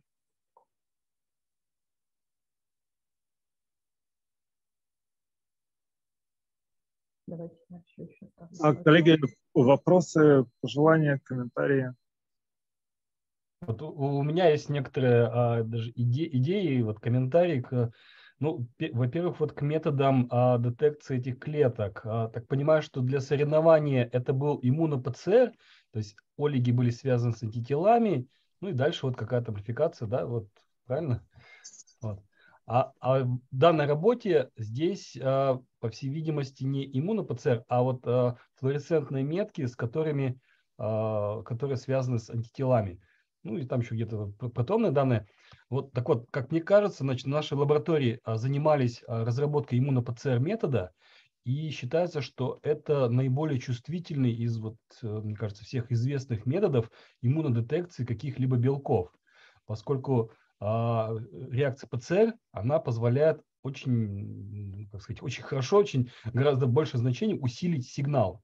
Гораздо больше, чем какие-либо там а, слои антител и больше, чем флуоресцентный сигнал. И поэтому для одноклеточных подходов single cell, а, видимо, важнее как раз вот иммуно-ПЦР использовать. И вот в этой связи у меня возникает такая вот идея, что в данной работе, если используется не иммуно-ПЦР, а ПЦР, э, эти, антитела с флуоресцентной меткой, то, конечно, есть какая-то вероятность ошибки. А тут, возможно, Эльмир и другие, кто вот наши сотрудники занимаются вот а, факсами и вот э, сортировкой клеток, но я сам тоже слушал семинар по сортировке клеток. Всегда есть некоторая ошибка а, в сортировке клеток, и поэтому случайно могут попасть э, какие-то а, ну, ненужные типы клеток. Просто они не имеют нужного сигнала, но либо сигнал такой низкий, либо а, так сказать, клетка шла вместе с той клеткой, которая сортируется в данный момент. А там ширина капилляра больше позволяет вот в данный момент пройти там не одной, а двум клеткам. И тем самым мы получаем не чистые популяции клеток, а скорее обогащенные, где там 95% клеток, допустим, CD34 плюс и CD38 минус. Но при этом есть 5%, которые там нам шум создают. Просто потому, что вот сортировать очень сложно. Ну и плюс еще вот э, сила сигнала флуоресцентного не такая большая. Возможно, какие-то клетки были пропущены. Ну или наоборот, э, э, система посчитала, что эта клетка относится к CD38-, а на самом деле она CD38+. Ну, вот. ну, из-за того, что просто какой-то там сигнал был слабый. Поэтому... Да, такое возможно, конечно. Да, особенно и... на границе, особенно если это средние да, значения, там плюс-минус да, очень можно, очень сильно да, могут быть да, да, погрешности. Абсолютно верно. И вот там, где был рисунок, где они предсказывали, что по каким-то маркерам клетка должна пойти по ретроидной линии дифференцировки. И вот у нас с какой-то вероятностью, да, туда идет или там должна быть там Т-лимфоцитом, и она вот туда идет. Но при этом какой-то процент идет не туда. Вот, возможно, это экспериментальная ошибка, связанная с тем, что мы имеем дело не с чистыми популяциями, а с некоторыми примесями. Поэтому часть клеток идет не туда, но не потому, что они имеют те маркеры, которые мы считаем там типа CD34, CD38++, а просто они случайно попали там CD34+, 38 минус и какой-то еще там CD19 у них. И из-за этого 5% пошло не туда. Вот. А так, если... Ну, да, верно я понимаю? Что, да, ты верно понимаешь. Это единственное, что вот хотела вот э, в стиле авторов статьи э, в комментарии, что они как раз-таки говорят о том, что это идет из такого континуума, и вот этот вот момент, ну, э, когда этот континуум происходит, приходит в отдельный кластер, на самом деле чисто математического решения, какого-то идеального, тем более факс решения, ну, я не знаю, я не слышала. Поэтому, конечно, вполне может быть такое, что они захватили какие-то клетки, да, которые еще из того континуума, грубо говоря, highly potent э, cells. Вот, э, поэтому, конечно, это просто какое-то какое-то разделение э, вот на CD38 плюс и на CD38 минус, но, естественно, не самое идеальное там разделение, может быть, через 5 лет они там меньше. Найдут еще какой-то там а, маркер, который гораздо более точно разделяет. Да, да, да, да, да. И вот, и, насколько понимаю, если был именно иммуно-ПЦР а, для а, Kaggle соревнования, то можно ожидать что-то немножко что-то более точное. И если как раз еще именно из данных клеток дальше извлекалась РНК, там эти белки смотрелись, то таким образом а, данные Kaggle немножко более точные, мне кажется, чем данные в этой статье.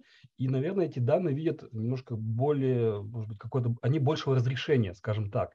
И там, возможно, из-за того, что более разрешение, наверное, и как раз можно попробовать э, с помощью информатических методов попробовать и более точно выделить подтипы клеток, наверное, более точно, чем в этой статье. Вот. И дальше, вот, возможно, сама статья это подсказывает, как это можно сделать. Где есть рисунок, а, корреляция вот этих транскриптов а, между там двумя пациентами и а, вот эти CD34 Э, плюс CD38 плюс и CD34 плюс и 38 минус клеток. И там, где видно, что идет явно кластеризация этих транскриптомных данных в случае, где очень такая более-менее четкая популяция вот этих 34, 38 плюс плюс клеток. А там, где вот этот плюс-минус, там видно, что какое-то вот поле, значит, э, какой-то сильной корреляции нету, но видны некоторые островки. И вот тут у меня такое вот э, получается некое предложение, тоже можно обсудить, я, насколько понимаю все это. А если это действительно смесь клеток, а, получилось вот 34 плюс, там 38 минус, а, то она же состоит из, наверное, чистых клеток. Если есть какой-то способ, вот как иммуно-ПЦР, позволивший их как-то четко описать, то мы имеем, значит, синглсовые транскриптомы.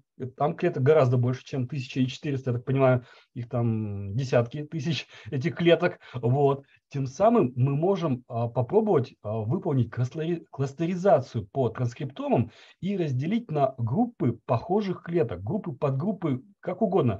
То есть классифицировать данные входящие вот этих транскриптомов, но при этом а, все-таки думая, что все-таки тут более точное определение содержания этих CD-маркеров по сравнению с факсом а, дано. Ну и как понимаю, что клетки а, очистили, вот эти из одной клетки знаю, именно для данной клетки знают и CD количество маркеров, и идет весь транскриптом. Ну там 3000, там 4000 генов. А, и тем самым есть четкая ассоциация вот сигналов таргетов CD и причем такая количественная. То есть там, видимо, нужно смотреть не просто, что есть или нет это CD, а еще посмотреть, а какое его количество. И тоже ведь иммуно ПЦР, э, как и любой ПЦР, имеет некий фон, некий шум. То есть сигнал ниже какого-то уровня ну, нельзя считать сигналом, это какой-то шум, э, связанный с техническими, значит, какими-то проблемами. Так вот, видимо, нужно как-то попробовать тоже в этом шуме разобраться, считать, что у CD есть сигнал, и ассоциировать дальше с а, транскриптомами этих клеток. И попробовать их классифицировать, и, может быть, тогда выделятся какие-то вот кластеры групп, и вот это будет такой а, корреляцией, что если есть такие-то, такие-то CD, детектируются по иммуну ПЦР, то тогда-то вот такие-то, такие-то кластеры вот этих а, транскриптов обнаруживаются ассоциированы с данной группой клеток. И если кластеризация прошла правильно, ну, я не знаю, какой алгоритм там используют, но вот чисто умозрительно, то тогда они должны быть вот как на том рисунке в статье, где вот CD3438 плюс-плюс клетки, там четко видны кластеры вот такие а, скоррелированных а, транскриптов. Ну и плюс, а, видимо, эти транскрипты не просто такие, они еще связаны с определенными факторами транскрипциями, как вот а, первый самый вот полезный полезная таблица такая, рисунок для Kaggle соревнования. Я думаю, что вот это абсолютно тоже верно, что а, если работают определенные факторы транскрипции, то вот именно они, их набор, не один фактор, а именно набор, может определять данный тип по тип клеток и через это определять наличие, отсутствие и количество соответствующих CD-маркеров на поверхности вот этих клеток. Вот. И вот я думаю, как бы, да, такая более тонкая кластеризация, то есть, может быть, да, вот так, одно из таких способов решения задачи – это э, как-то тонко, биологически осмысленно, а, опираясь на знания факторов транскрипции, кластеризовать данные single cell на вход, и исходя из этого и э, предполагать, что если такая-то комбинация транскриптов, вот такие-то CD должны быть и в таком-то количестве. Вот, вот меня вот так, такая мысль появилась, исходя из анализа вот, статьи и данных. Вот. Вот у меня такие мысли. Спасибо большое. Спасибо. Ура. Ну, Рада, что... Надеюсь, полезно. Да, это, да. интересная сейчас статья, тоже очень много чего узнал, но вот я думаю, что да, нужно биологический шум от, отличать от, э, значит, э, сигнала данных и потом как-то пытаться транслировать на данные Kaggle. Вот, мне кажется, они более чистые. И вот эта идея кластеризации, мне кажется, вот, как, я, конечно, не совсем информатик, но начинающий такой, да, ну, с, больше с биологическим опытом, но вот, как мне кажется, вот э, дело все в кластеризации. Научившись правильно кластеризовать транскриптомы, это, в этом есть ключ как пониманию, какие CD в каком количестве должны быть вот, на поверхности клеток, вот, таргеты соревнования. Вот.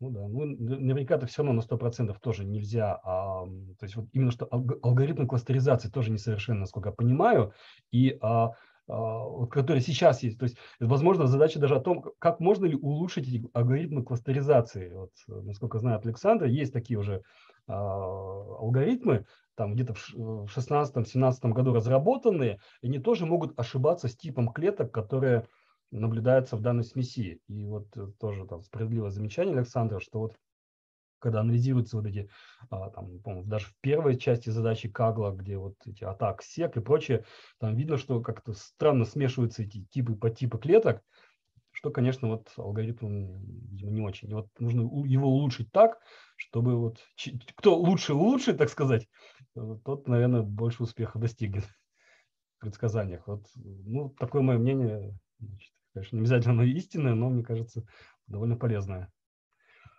Вот. Ну, в общем, такие дела.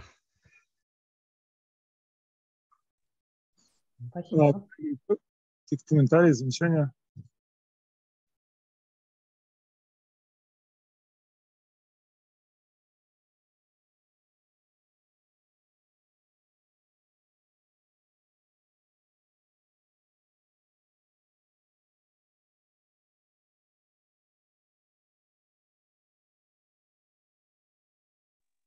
Ну, у меня вот только, только один, одно такое комментарий, что а, мне кажется, еще отчасти они использовали определение под стометрии, потому что это очень хорошо валидированный метод, и, грубо говоря, к нему много известно биологических скажем, фенотипических данных об этих клетках. То есть если вы посмотрели цитометром, увидели там CD4+, CD38-, ну или там, там CD10+, то, исходя из огромного количества экспериментальных данных, вы более-менее четко знаете, что это биологические заклетки, что это а, функционально другие клетки.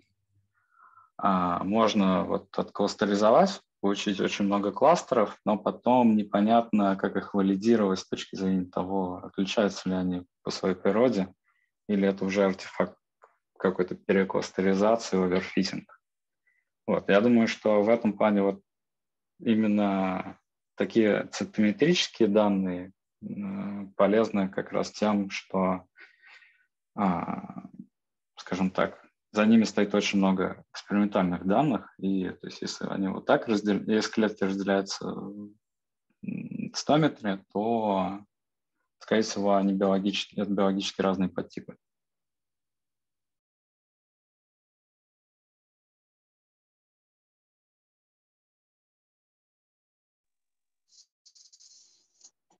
Спасибо, Еще какие-то замечания, комментарии, вопросы?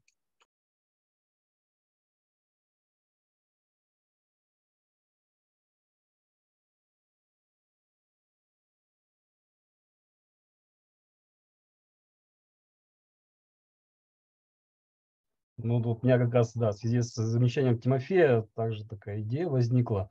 Ну, я тоже согласен, конечно, что вот э, чистая кластеризация без каких-то биологических осмысленных данных, ну, ну не может быть э, на 100%, ну, может даже на 90% какой-то верной. Нужны какие-то подтверждения того, что именно данный тип клеток обладает нужными свойствами и транскриптома. Но вот, может быть, посмотреть как раз ведь и организаторы Кагла даже и советуют, что можно привлечь другие данные извне.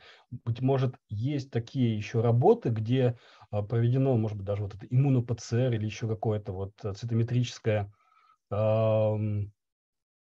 значит, определение типа клеток, может, какие-то их функциональные характеристики, подтверждающие, что этот клеток именно данный тип клеток, который мы думаем, и связанные с ним данные, вот, сайт сека, там, атак сека, и CD данных. Вот, может быть, такие mm. нужно поискать работы. И вот... Да, вообще есть вот э, данные, есть, такой, есть алгоритм SPADE, он используется для данных э, масс-цитометрии, ну и похожих, короче, для многопараметрических анализов именно по маркеров по определенных по антителам.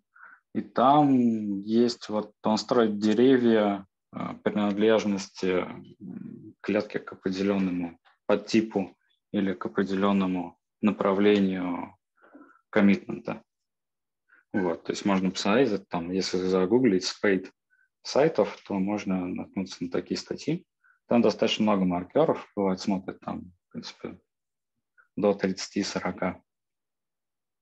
Вот, можно, наверное, из них что-то тоже получить. Но их как бы сложно будет соотнести с данными транскриптомов, потому что обычно, если делать сайтов, то нету транскриптома. То есть это нужно как-то отдельно придумать, как соотносить. Да, вот ну, да, вот здорово, чтобы вот если был бы вот этот, да, спейд, данные еще с, к ним и транскриптом, это вот было бы шикарно, наверное. Вот, такие, такие вещи. Ну, вдруг есть, вдруг готовится какая-нибудь статья, не знаю, в принте выложена, там, не знаю, что-то такое вот. Да, вот но в целом по данным сайтов можно посмотреть по гораздо большему количеству маркеров, чем обычно предлагается в цитометрических исследованиях, которые вот предшествуют single cell. То есть там можно просто ориентироваться на по другим маркерам, выбрать те, которые хорошо коррелируют с которые хорошо МРНК коррелируют с белками по другим данным, и использовать эти маркеры из данных сайтов, а там уже известно, ну, можно грубо говоря, посмотреть, какой, какой коммитмент у этих клеток, каким они ветвям, подгруппам принадлежат. Использовать их как бы для дополнительной валидации э, более а, там, каких да, кластеров да, Да, ведь, ведь, да, вот в, в это же Kaggle соревнования, второй задача, насколько понимаю, там выложено уже содержание вот таких-то ну, CD-белков, а, да, и можно использовать вот эти сервисы, чтобы посмотреть, а какое соотношение вот этих вот CD какому там типу по типу клеток соответствует. Нужно как-то от, от этого отталкиваться, то есть попробовать использовать эти CD-данные, чтобы вот некую классификацию построить клеток, вот, и, ну, или даже так, некий классификатор, вот, как-то биоинформатический такой, то есть построить классификатор, который использует, что если такая-то комбинация CD присутствует, то это соответствует такому там э, типу по типу клеток. Ну, хотя, хотя бы так. Вот, а дальше смотреть, есть ли какие-то транскриптомы, может быть, э, вот именно данных вот э, типов, по типов клеток. Для кого уда- удастся найти? Ну и как-то проассоциировать. Вот, что вот, если такой э, тип клеток, значит, такой-то примерно транскриптом должен быть. Ну вот. Ну да, конечно, все, все половинчатое решение, ну хотя бы хоть что-то такое.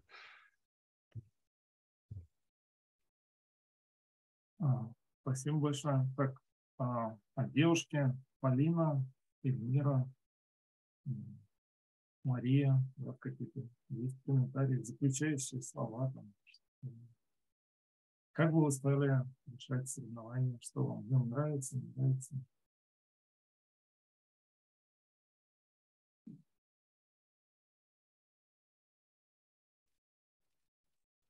Я, я хотела сказать спасибо, что делитесь, э, кстати, ноутбуками. Было очень прикольно посмотреть код.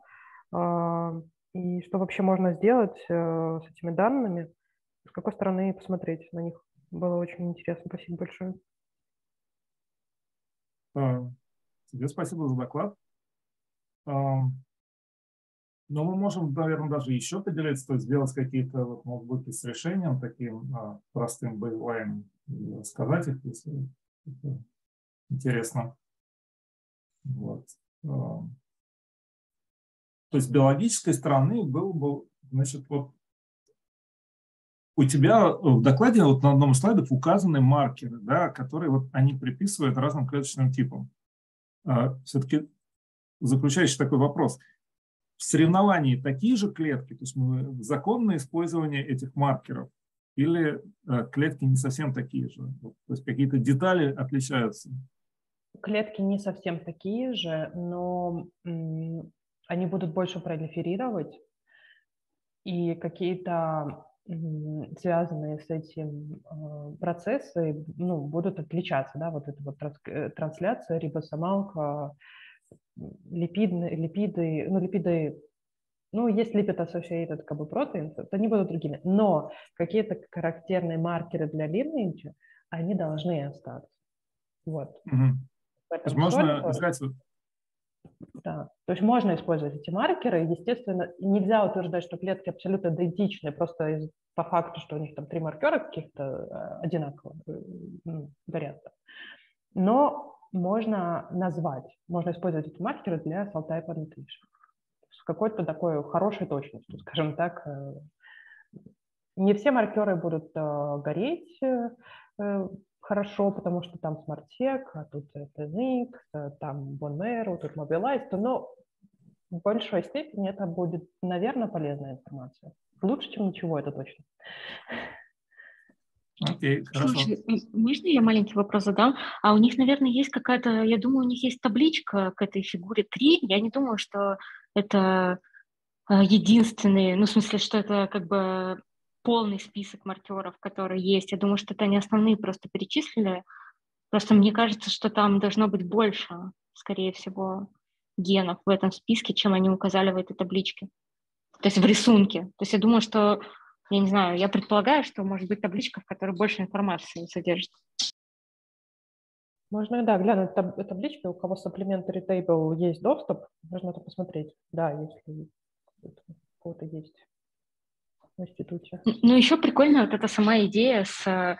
Ну, не идея, я видела уже, что это используют, но вот этот вот метод с расчетом именно удаленности от э, э гемопоэтической стволовой клетки, то есть то, что они учитывают все-таки э, вес а не только просто, как, как сказать, э, э, как, э, качественный анализ делают. Вот, плюс-минус.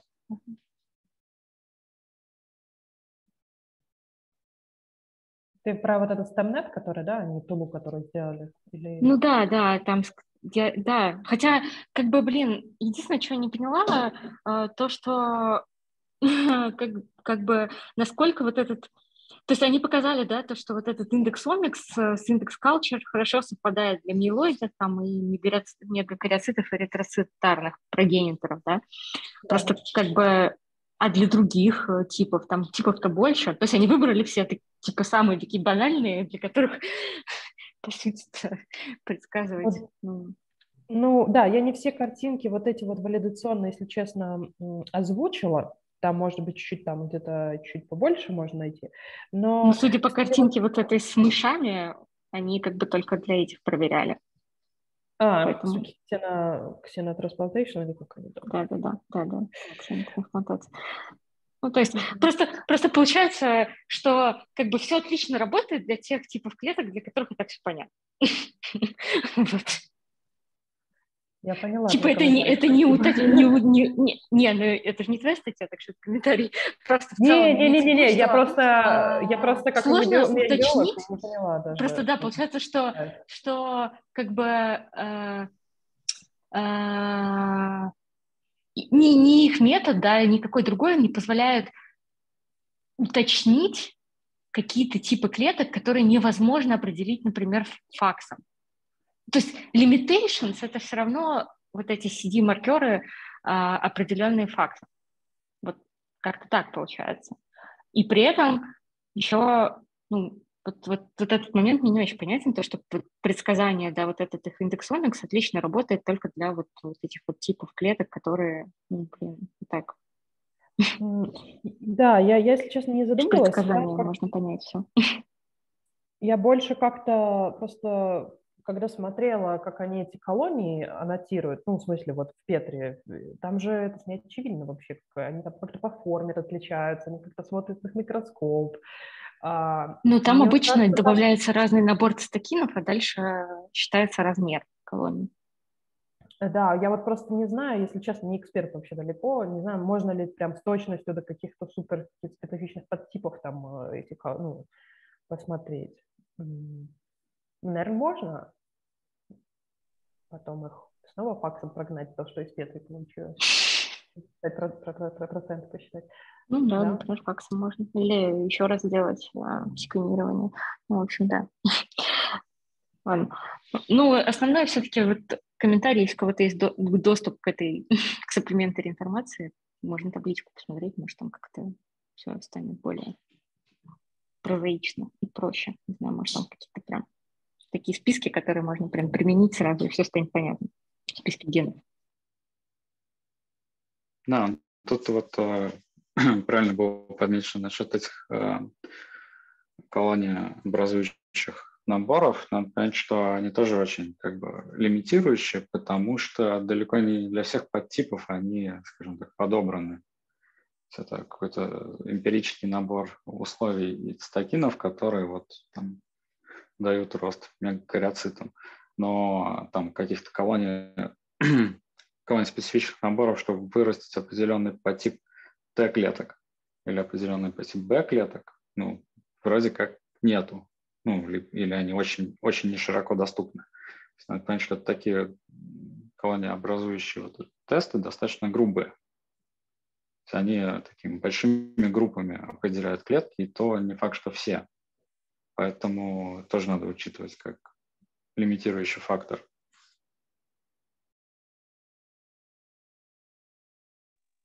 То есть, возможно, нужно искать просто э, исследования, где по маркерам какие-то балк э, клетки насортировали из крови, определенные подтипы, и там уже посмотрели экспрессии, ну, дивгены посмотрели.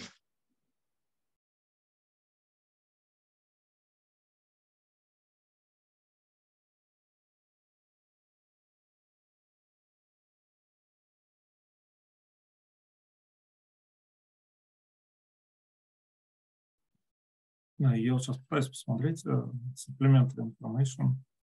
Сейчас uh, дошел до второй таблицы. Так,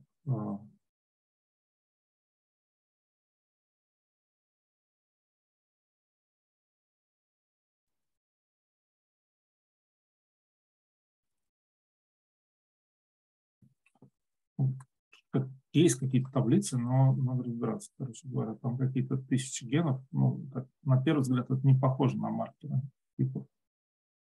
Вот. Ну, может быть, надо другие еще посмотреть. А, а вот смотрите, по биологии, как бы, ну вот, э, еще раз, вопросы, которые мы с точки зрения data science можем насчитать. Это первая, допустим, корреляция между протеинами. А, то есть мы можем увидеть, что какие-то CD скоррелированы с другими CD. Вот вопрос к биологам. Вы сможете это как проинтерпретировать?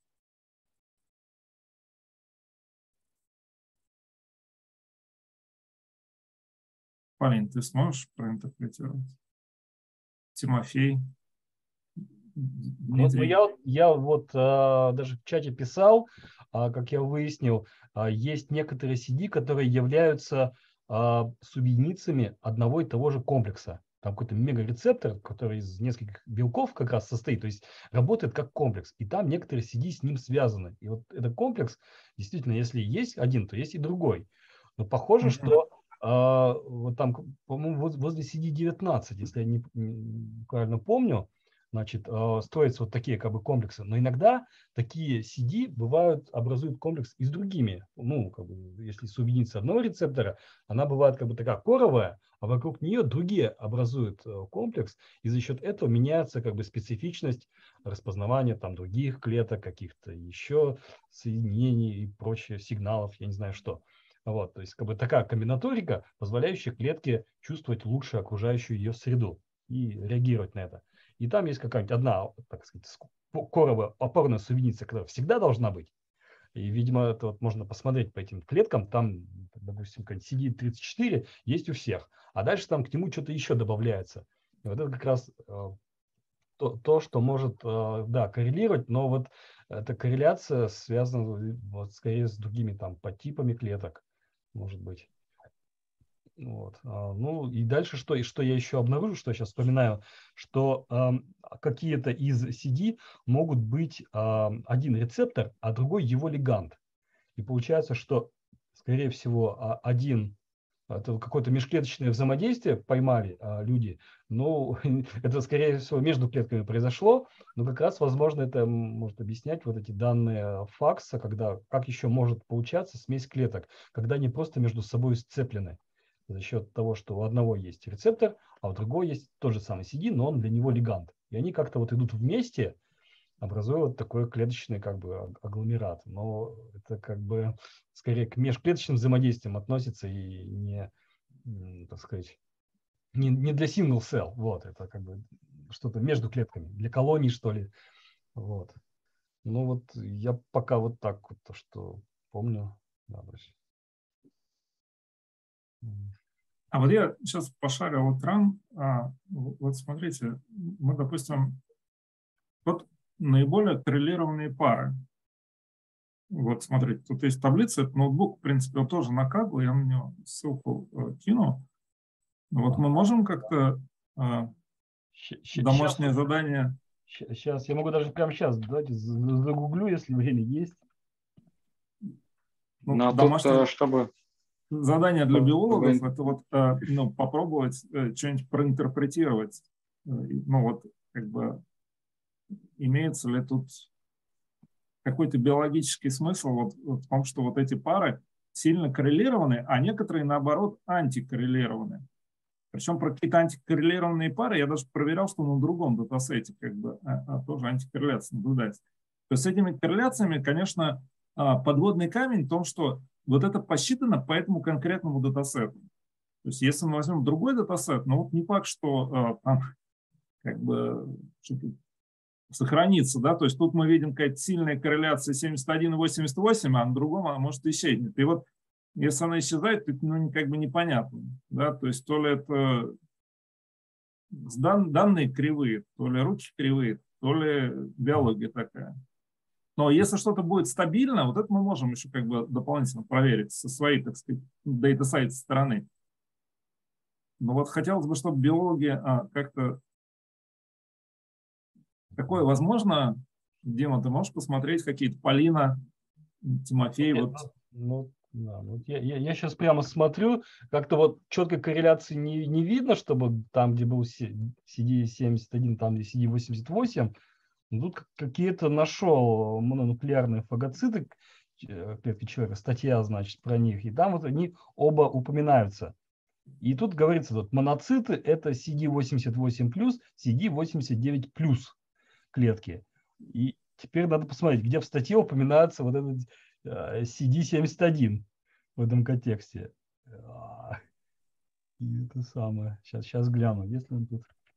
Ну, то есть, получается, Мне кажется, такая... что корреляции больше говорят о, о, дат, о датисете в целом, то есть о том, как выделены клетки, что с ними делали.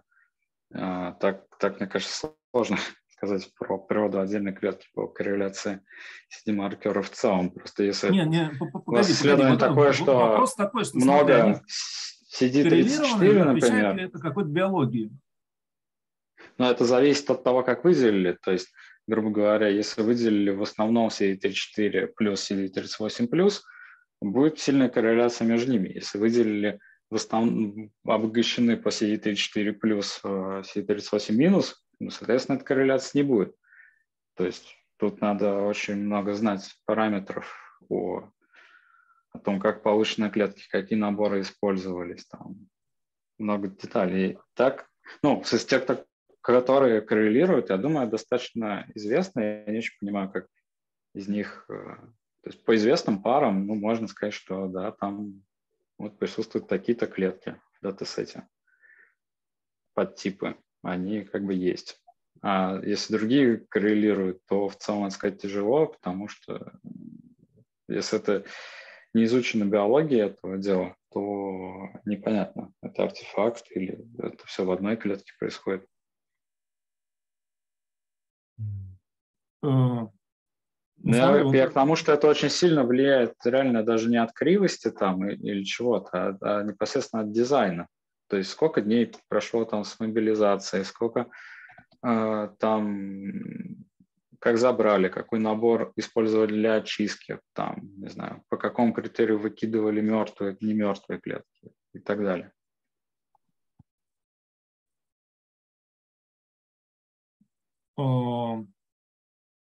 Ну смотри, вот э, Дима предложил механизм, что некоторые CD соединяются в комплексы. Скорее всего, это происходит во всех типах клеток. И тогда мы ну, можем да, ожидать... да, это не только CD, даже просто э, рецепторные тиразинкиназы иногда комплексами формируются, они усиливают стабильность друг друга. Такое тоже бывает. То есть то, что они могут физически взаимодействовать, это да. Но тогда мы, скорее всего, можем ожидать эту корреляцию. Разве нет? То есть это такая зависит от, это зависит от зрелости клеток. То есть, опять же, ну, у тех же эритроцитов там, они могут быть, у них может быть, у них на одной стадии там, созревания присутствует только один рецептор, на следующей оба, а на последней остается только второй. То есть какая из них обогащена, такая как корреляция и будет.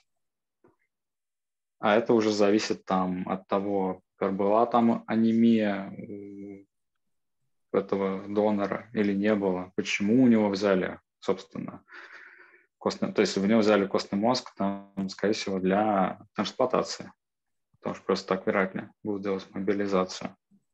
Ну, хорошо. С одной стороны, ты прав. Возраст? С другой стороны, э, нет ли такого, что э, все-таки какие-то взаимосвязи будут э, не зависеть от типа клеток. Ну, какие-то, да, будут, но я думаю, они хорошо описаны в целом. Ну, а вот это где нам найти? Как вот нам найти? Хорошо это описано, нет?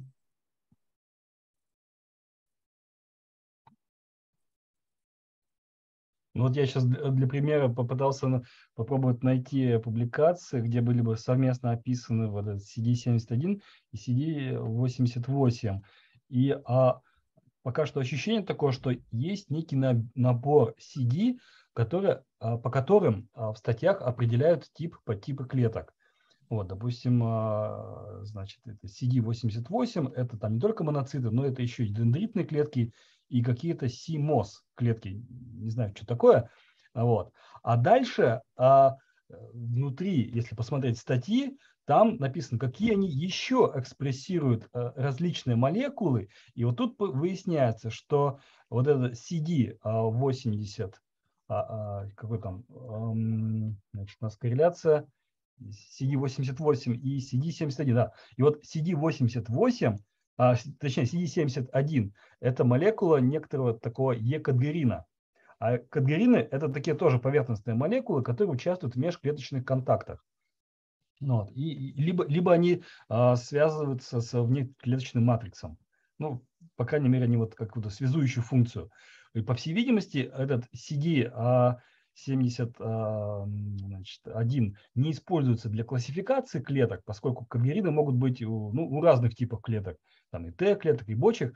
То есть он не такой не дискриминирующий тип клетки, но при этом он может коэкспрессироваться с другими, но так как он э, клетка не специфичный, а вот, то получается, что он может быть э, таким как бы неспецифичным поверхностным белком, который может быть у разных типов клеток.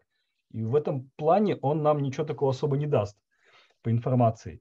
А важнее будет именно, что вот наличие там CD88, потому что он есть у одних клеток, а у других нету.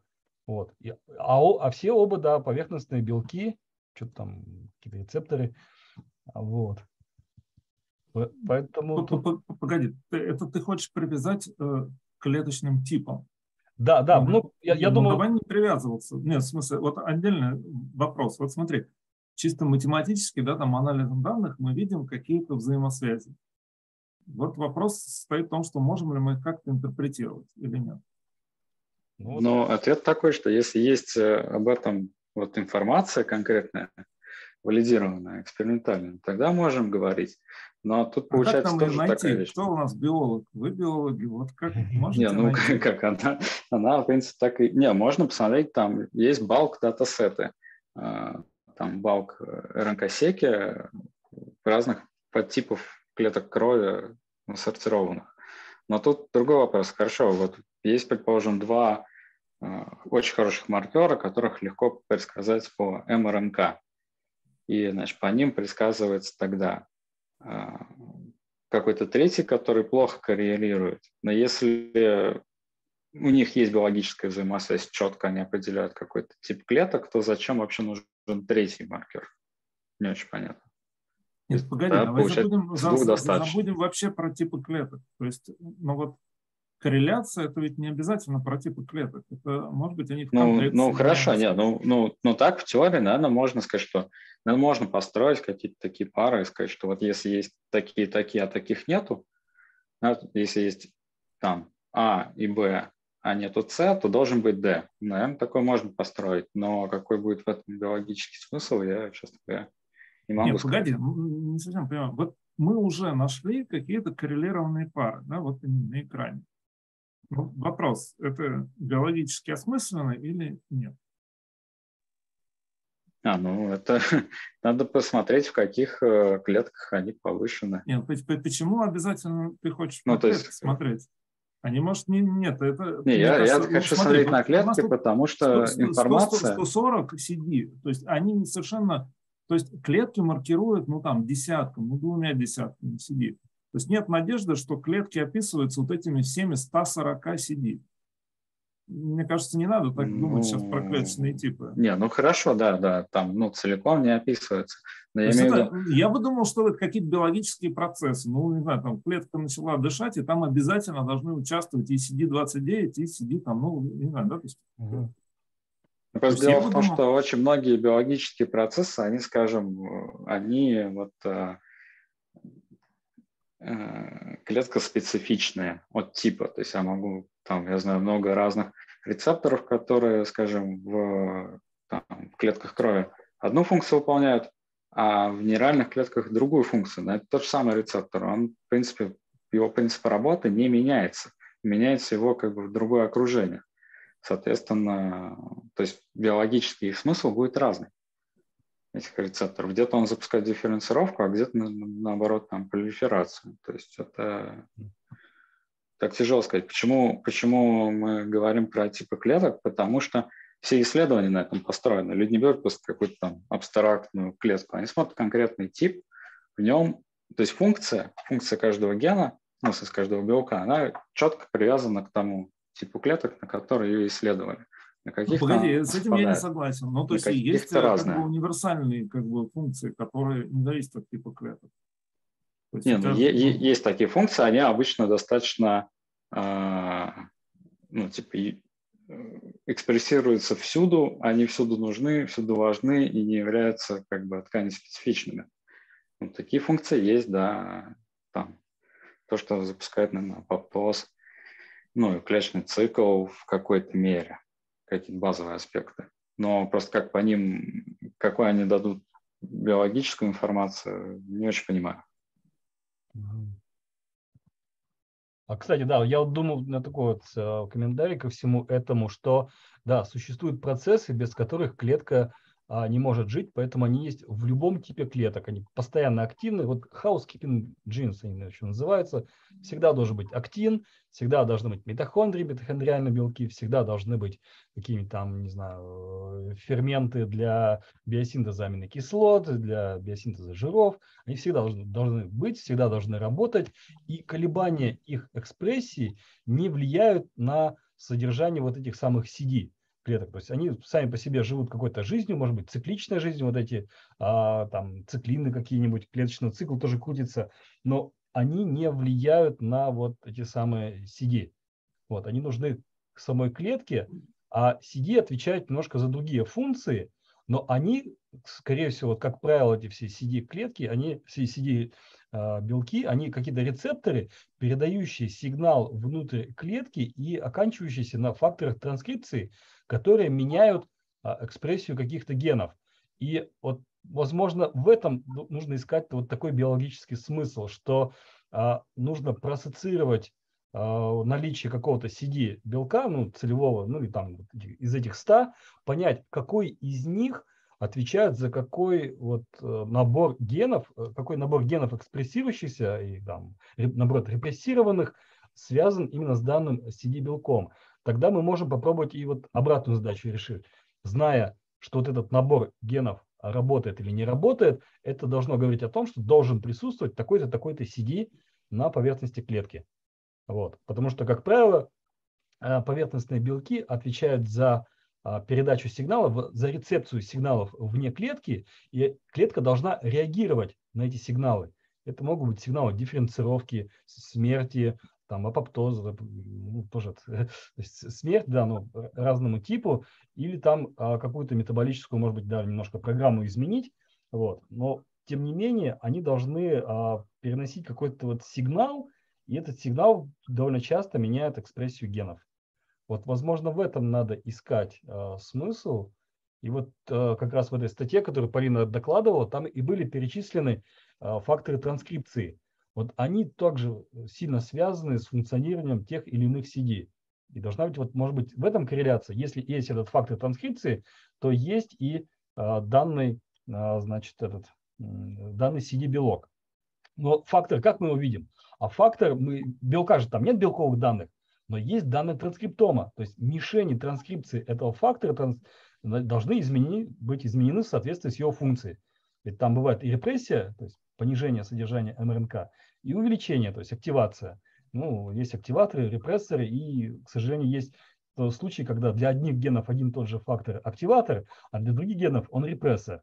Ну вот, и в общем, а, самое сложное, да, вот, э, видимо, разобраться каким факторам транскрипции и каким мишеням соответствует данный CD, и тогда можно попробовать и обратную задачу решить. Зная набор э, активированных, там, репрессированных генов, предсказать, какие факторы работают, и, соответственно, и, они да, ассоциированы с какими-то CD. И вот, мне кажется, примерно такая может быть биологическая задача. А так они между собой, да, все на поверхности находятся. Это их э, общее будет свойство всегда, они всегда будут с этим ассоциированы но какие-то из них постоянно выполняют функции, а, что они должны, допустим, а, клетка должна быть прицеплена к внеклеточному матрицу. Значит, всегда должен быть такой-то а, значит, там, кадгерин, там, не знаю, виментин, ну, забыл, какие там рецепторы, вот, они должны быть. Но, кстати, есть клетки крови, которые не прицеплены к чему, там, лимфоциты, значит, у них этого кадгерина не будет.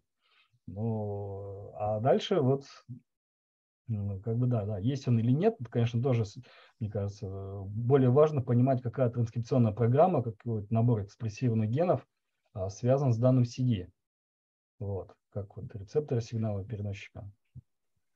Да, если можно, я, я просто собираюсь э, отключиться, но я хотел вот э, в дополнение к словам Димы сказать, что есть э, разные там библиотеки и методы, там типа Spider, еще там какие-то, которые позволяют искать мастер-регуляторы. То есть, возможно, есть смысл как бы накластеризовать, учить разные кластеры, и для как раз для набора CD-генов поискать мастер-регуляторы.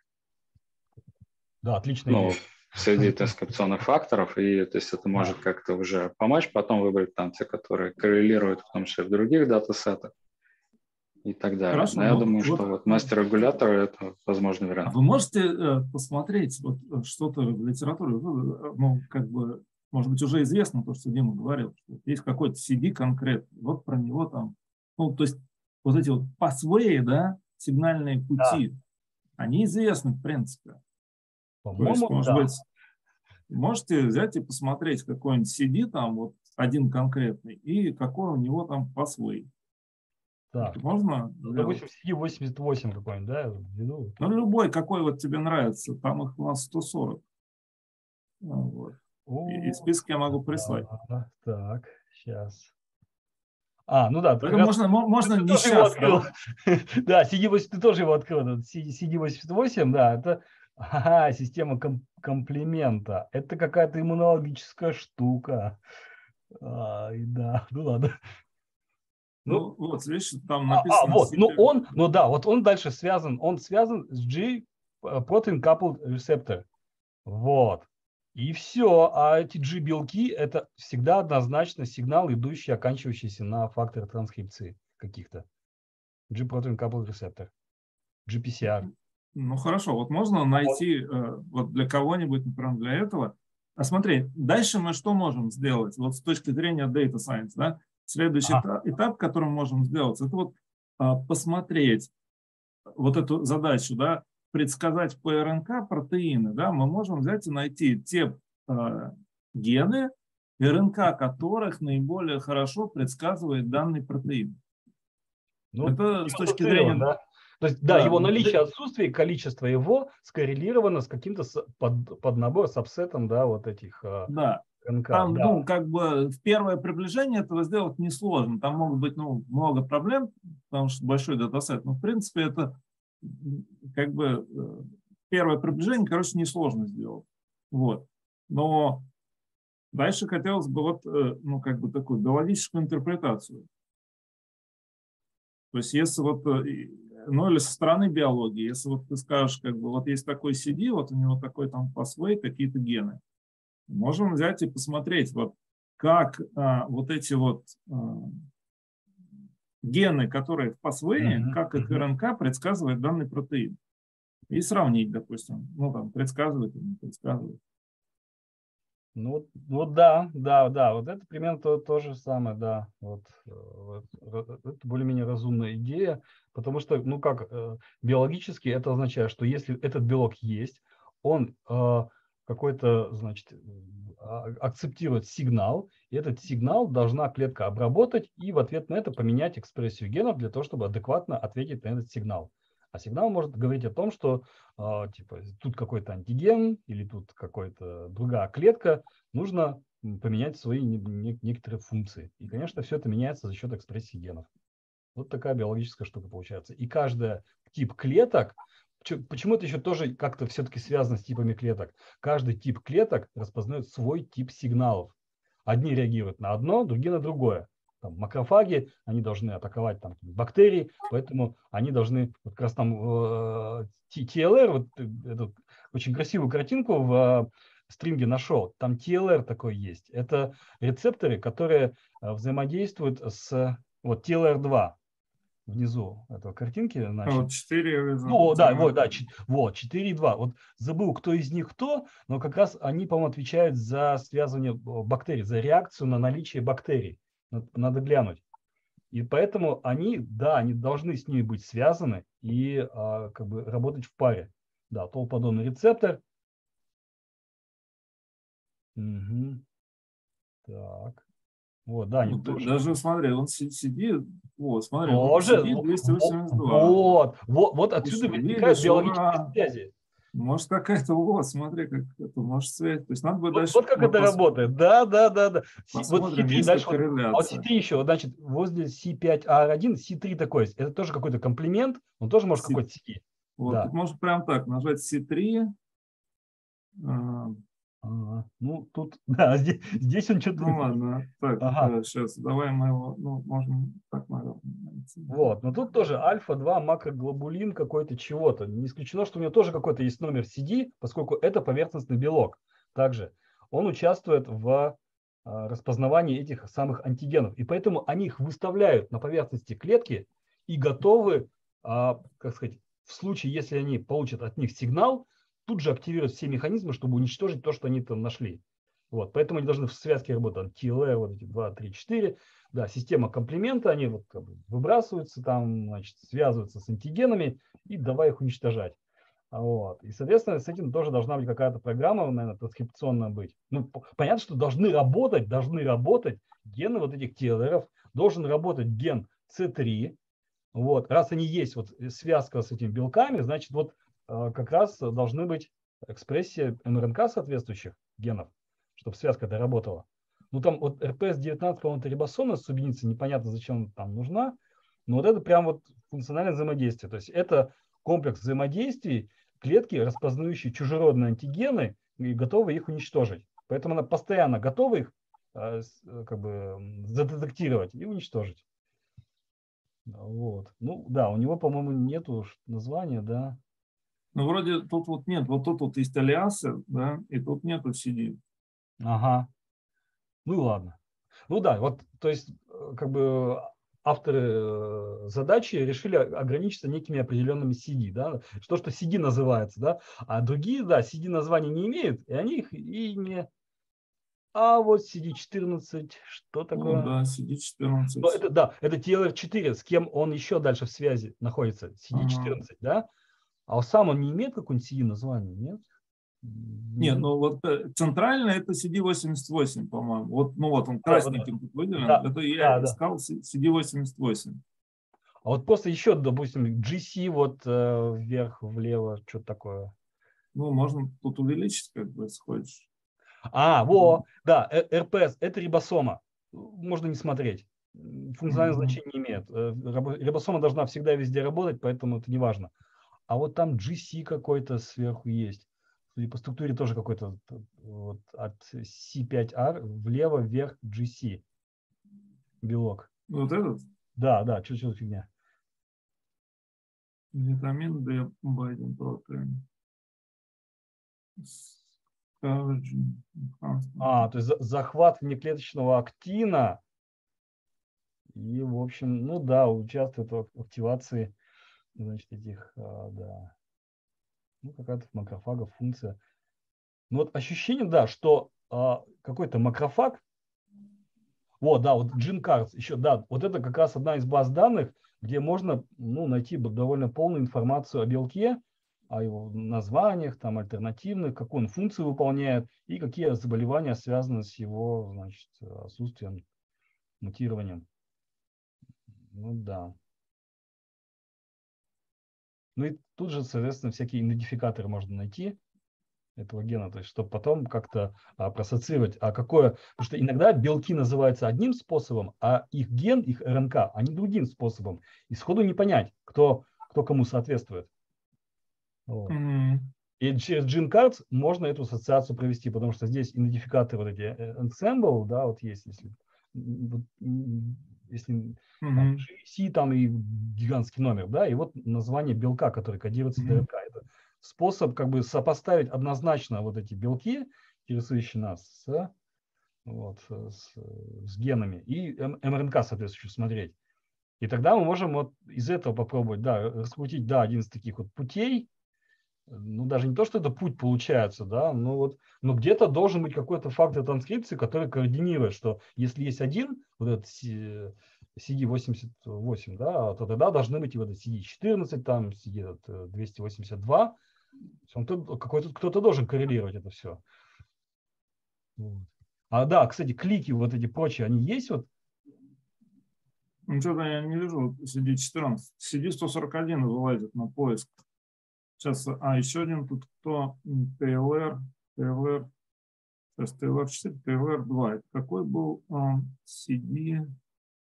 Там где-то был и у четвертого, у четвертого, кажется, смотрели, там он назывался CD282, что ли, если я правильно помню. Нет, подожди, четвертый я только что смотрел, CD14.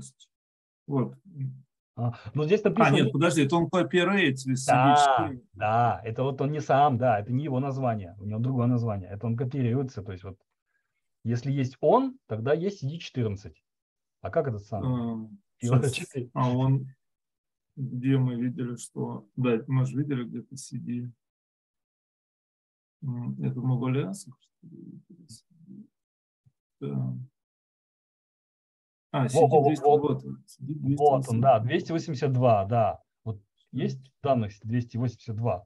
И с кем Что-то не видно его. Ну, может, он не вошел. Вот, а, кстати, вообще, а вообще в датасете он, если есть вот этих CD, так, вообще, если он в датасете сейчас...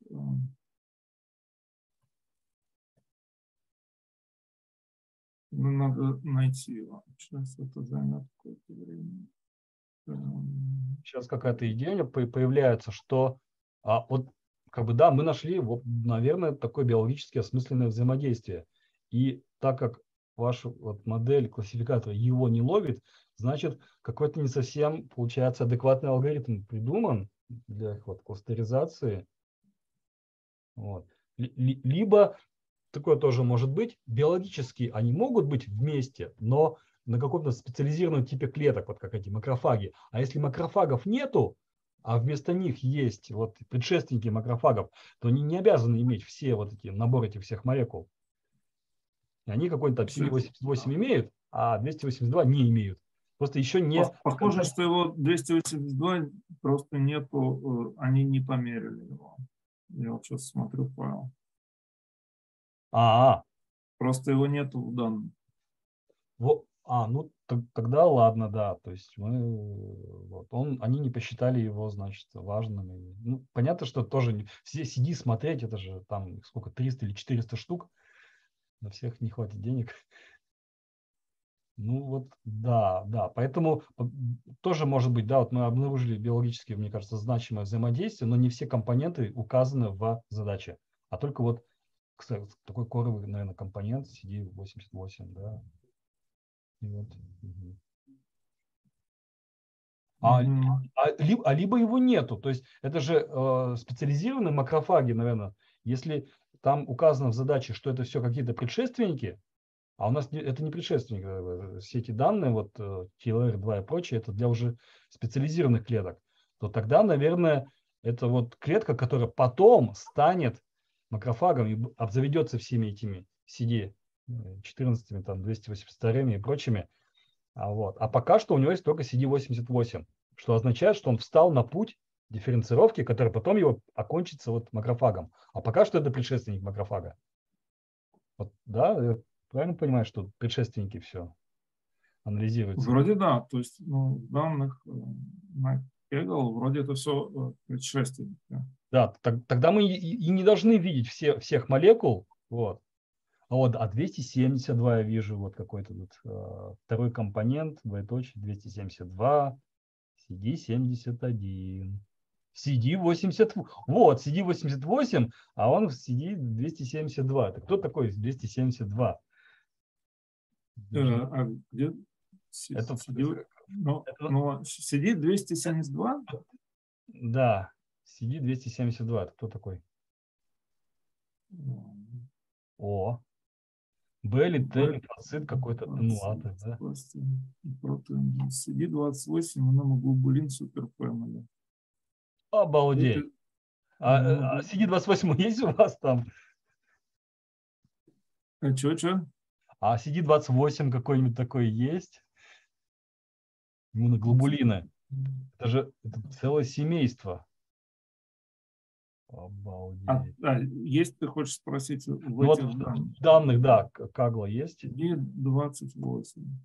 А тут как раз и видно, другие CD сидят.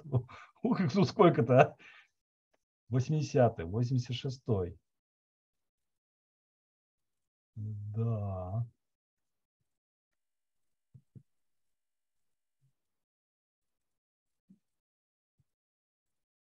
CD28 есть. Есть, да. Э, это вот как раз э, как бы для, на предшественниках Т-клеток, видимо, должен быть, если там все предшественники. А вот как, с кем он входит? Есть там? Сидит 320. Нет, что-то он у меня не, не, не засветился. 28. Э. А, так, вот. а еще какой CD был? CD, вот этот 208, 272, да? Да, 272. Ну, я увидел, потому что 272 был вот вместе с 88. Вот, вот как раз, да, а, ну, вот. компонент, и вот там да, CD71 идет, 115 и 88 в одной этой штуке. Угу. Так, а... Но 71, CD71 это какой-то конгерин, он ну, просто межклеточный контакт. То есть такие клетки, они вот, вот если смотреть на иммунный ответ, скажем, для того, чтобы было распознавание антигена и его уничтожение и сформировались антитела, должны взаимодействовать три клетки. Т-клетка, Б-клетка и макрофаг. Вот такой тройственный контакт должен быть. И макрофаг презентует остатки этого патогена, который он сожрал. Его одновременно распознают Т-клетка и Б-клетка. Вот то, что он выставил. И а, тут происходит такая тройственная реакция, и все активируются. И Б-клетка потом начинает производить антитела против этого антигена. И, соответственно, чтобы эти клетки иммунные взаимодействовали, должны быть вот эти конгерины. Без них взаимодействия не будет. Но при этом они могут быть и на Б-клетке, и на Т-клетке, и макрофаге. Поэтому они не являются такими, получается, дифференцирующими тип клеток в данном случае. И тут важнее, что вот если это 272, значит там это Т-клетка какая-то, вот это его значит, э, молекула, ну да, предшественника, которая потом станет Т-клеткой. Получается так, то есть есть какие-то молекулы, которые есть у большого, по крайней мере, количества клеток, и даже их, не знаю, ну, наверное, да, то есть какой-то большой класс должен формироваться из этого предшественника, которые должны между собой какие-то контакты производить. Ну, типа, это миелоидная линия, там, скажем, да, если я правильно понимаю. Оттуда же Т и Б клетки происходят. Значит, вот у них у всех должно быть CD71. Вот, и дальше mm-hmm. это как бы они есть такие вот, видимо, CD, которые характеризуют целые несколько групп, несколько типов клеток. А есть те, которые более специализированы, вот типа 272, мне кажется, это только у Т-клеток и предшественников Т-клеток должны быть. Вот они более интересные. И получается такая некая иерархия этих CD. Даже в той статье, которую Полина сегодня разобрала, да, есть CD 34+, CD 38+. И дальше это тоже делится на большие ветви. И, по всей видимости, они вот такую иерархию могут образовывать. Вот это, не, это даже не разбиение по группам, наверное, должно быть, а какое-то вот дерево, что если, даже где-то, по-моему, схема такая была в чатах, что вот когда идет дифференцировка этих клеток, а, вот, из предшественников, то у них тут вот CD меняется туда-сюда. Вот это примерно об этом. И там, соответственно, но только нужно смотреть, чтобы это были комбинации. То есть меняются не одни, а именно комбинации этих CD. И у кого-то вот появляются и сохраняются дальше какие-то вот типа CD71, да, он появился и дальше есть. Ну, а потом вот э, к нему добавляются более специфичные, там CD272, там потом CD88, и вот тогда образуются вот такие а, вот. Есть, может быть, это тоже вот как-то с этим связано, задача, то есть вот как-то сопоставить вот эти а, CD, ну, вот еще с неким как бы процессом, да. Ну, и если во времени все это смотреть, во времени, то тогда должно как бы уменьшаться количество Э, этих CD, которые соответствуют совсем-совсем HSC клеткам и вот более ранним предшественникам. И должно появляться больше CD, которые соответствуют более специализированным, но тоже все равно предшественникам. Вот где-то там у тебя была красивая картинка, что HEC с течением времени меняется. Это, возможно, первая задача имеет отношение, но, наверное, также и про CD. То есть меняются те CD, которые для HSC характерны, и больше там эритроидной линии, миелоидной линии. Вот их становится больше этих CD. Вот такое еще может быть количественное соотношение меняться. И надо как-то вот какую-то иерархию построить. Ну, а дальше с ними связаны какие-то да, транскрипты тех же генов CD, плюс связанных с ними белков, с которыми они взаимодействуют. Но, возможно, тут надо аккуратнее смотреть, потому что, а, мне кажется, процесс дифференцировки не так хорошо изучен, как вот эти терминальные клетки. Вот люди выделяют кровь, и там уже терминальные эритроциты, лимфоциты, Т, там Т17 helper, Т4, Т, там 8 плюс, вся, всякие вот они уже дифференцированы, и на них уже давай смотреть. А там они уже, а тут другая задача, промежуточная, то есть они еще не готовы быть э, терминально дифференцированы, у них есть не весь набор этих CD, которые они вооружены будут потом, и получается такая вот, да, переходная ситуация. Вот.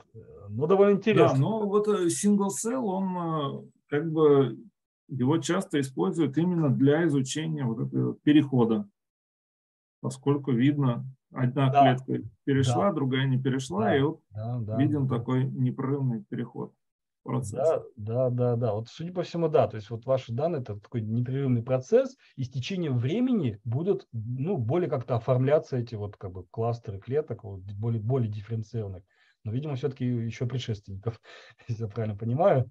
Ну, кто mm-hmm. его знает, я, э, кто, какие данные держит вот в конечном итоге вот эти организаторы, которые вас все проверяют. А вдруг там в конце уже будут терминальные Т-лимфоциты, макрофаги, Б-лимфоциты сидеть. Вот. Но нам не нужно предсказать, ну, то смысл, понимаешь, у нас не, не задача предсказать CD на там вот десятый день. У нас задача, э, нам же даны РНК-транскрипты на десятый день. Нам нужно построить такую модель, которая не сильно зависит от дня.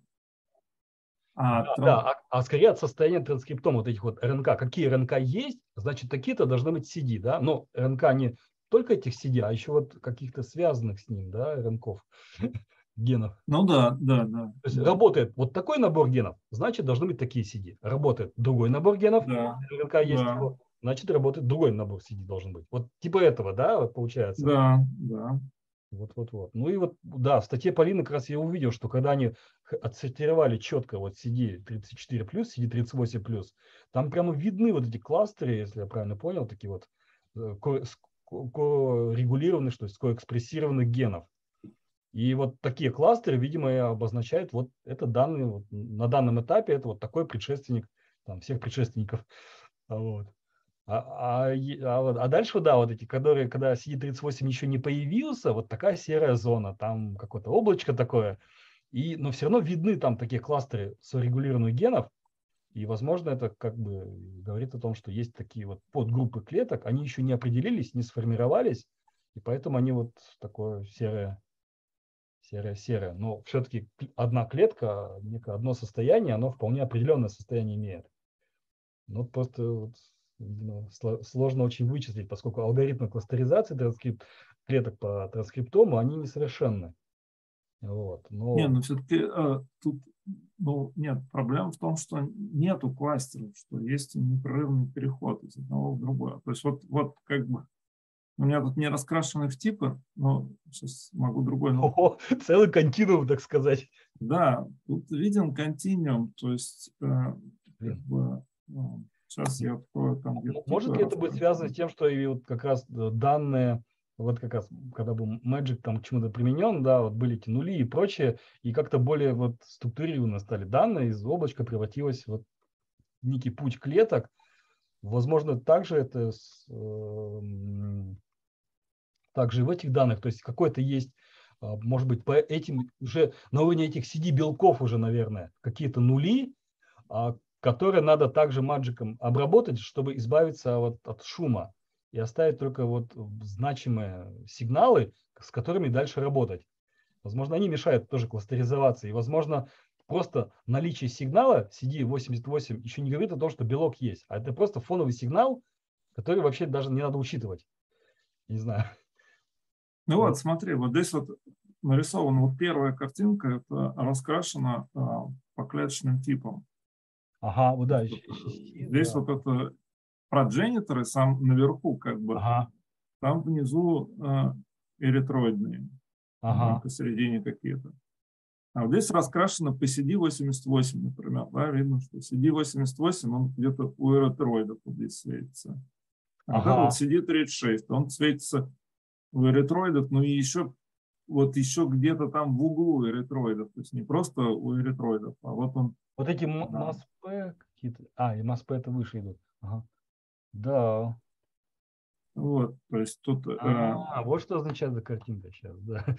Но видишь, то есть клеточные типы, они здесь ну, достаточно плавные. Это не кластеры, поскольку это вот, ну, mm-hmm. кластер уже в дифференцированных клетках, когда, вот, когда все разделил, а тут ну, не, дол, не должно быть кластеров по биологическому смыслу, потому что у тебя наверху прогениторы, которые вот превращаются непрерывно в, ну, mm-hmm. по крайней мере. Да, да, это да, действительно очень Эти сложно. 49 допустим, 62 они светятся выше где-то в области прогенитора. А, во, во, во, ага, вот, да, теперь понимаю сложность, что получается один и тот же тип, как бы вот клеток этих вот прогенитов, а, они могут экспрессировать или не экспрессировать вот эти CD, то есть внутри покрасив по какому-то определенному CD, мы видим, что как бы популяция определенная э, алгоритмом, что это должна быть все популяция, скажем, HEC клеток, она все равно разделяется по вот этим CD. Какая-то субпопуляция несет CD88, какая-то субпопуляция несет там 272, вот, какие-то там CD82. И да, это получается действительно очень сложно э, соотнести с каким-то типом клеток. Это, наверное, не с типом клеток уже связано.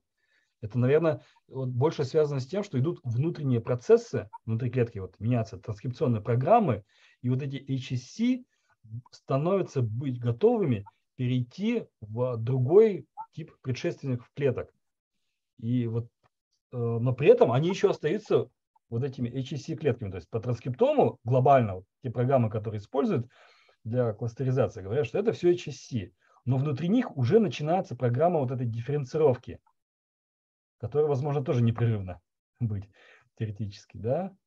И вот внутри HSC... Ну, мне кажется, они однозначно ну, непрерывны. Как, как да, это, видимо, да. Не может да. быть переключателя. Да, ну, это же непрерывный конечно. процесс. Да, да. Но единственное, что, э, может быть, в течение дня, ну, какой-то более-менее оформляется процесс, что вот он становится уже более э, ну, да, но, наверное, но все равно. да, но, не, ну, ну, вот это, как бы, кстати, хороший вопрос, да, в течение, я не знаю. Вообще дня, а, почему здесь по дням? А, просто цикл деления клеток млекопитающих – это примерно 24 часа. И, да, но здесь нет синхронизации. Эти да, да, здесь нет синхронизации. Да, видно, что это вообще. Ага. Вот, все, все понимают, что мы не можем соотнести вот определенный набор CD с каким-то типом клеток, а скорее всего это какое-то состояние подготовки быть данного типа клеток кем-то еще, но через не в данный момент времени, а через какой-то момент времени. Вот. Да. Вот как бы, как бы если бы можно было а, ну тут, наверное, не, даже сложно проследить за судьбой отдельных клеток, потому что это какой-то некий тоже сэмплинг, да, делается, берется вот э, какая-то популяция клеток, из них там берут тысячу клеток, и они уже разрушены, мы не можем узнать их дальнейшую судьбу, они были разрушены, чтобы посмотреть в них CD, в них транскриптом, и все. А, а да, а дальше кто-то да. остался, да, вот они продолжили свою судьбу. Но какую... И дальше мы видим следующий там день, а следующий отбор тысячи клеток, но мы не знаем, от, из какого состояния они пришли вот к этому, который мы сейчас наблюдаем в них. Вот. Они тоже будут разрушены, тоже мы самые. И третий день также. Вот. И мы, получается, как бы, да, это не то чтобы какой-то слон, в общем. Да, вот, вот, да, вот как-то так вот. Кстати, да, это вот, вот хорошая аналогия. И мы, да, мы не можем проследить траекторию судьбы одной клетки, поскольку методы анализа разрушительные, они убивают предыдущее состояние, и текущее состояние – это уже некий такой статистический срез от оставшихся живых клеток. Вот. Они как-то свою судьбу продолжили, и вот да, это, да. конечно, да. А алгоритмы нам так нарисовали вот такую красивую картинку, что да, вот они вот тут кластеризуются, вот так-то, так-то, да. А вот это же все так, это то, что выжили. То, то, что, но мы не можем, да, мы можем предсказать, как бы на основании наших каких-то моделей, да, вот био, действительно, может быть, где нужно вот биологическое знание, чтобы соединить вместе эти кусочки знаний, это как бы срезы такие, статистические э, выбранные срезы культуры клеток по дням, и вот отобрали там тысячу клеток, сделали транскриптом, сделали такие CD. Но что у нас, по крайней мере, надежная информация есть, что и CD данные таргетов, и данные транскриптома из одной и той же клетки. Вот, видимо, там как-то идентификаторы сопоставлены, да, вот, и, соответственно, мы знаем. Да, что... да, да, в этом point технологии, да. Что да, вот, вот, вот, вот, да, это, это на самом деле вот то, что нас, нам, нам, нам дано, это, это хоть какая-то связь есть. Да, но, но судьбу, да, действительно, кластеризацию по типам клеток, наверное, это не в таком случае не срабатывает.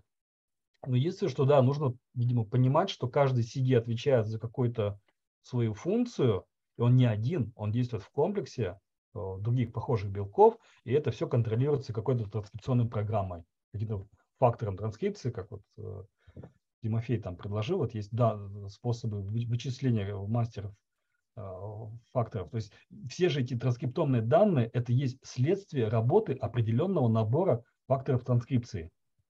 Вот. Если меняется набор факторов транскрипции, с ним же меняется и набор экспрессируемых и репрессируемых генов. И если есть алгоритм найти, какой из факторов в данный момент работает, то, возможно, его можно проассоциировать с этими CD, и тогда сказать, что если работает, но при этом не один фактор, несколько, что если работает вот такой набор факторов, должен быть такой набор CD. Вот я ну, думаю... Кстати, вот то, что Полина рассказывала, у нее же там ТФ тоже указаны, да, кстати.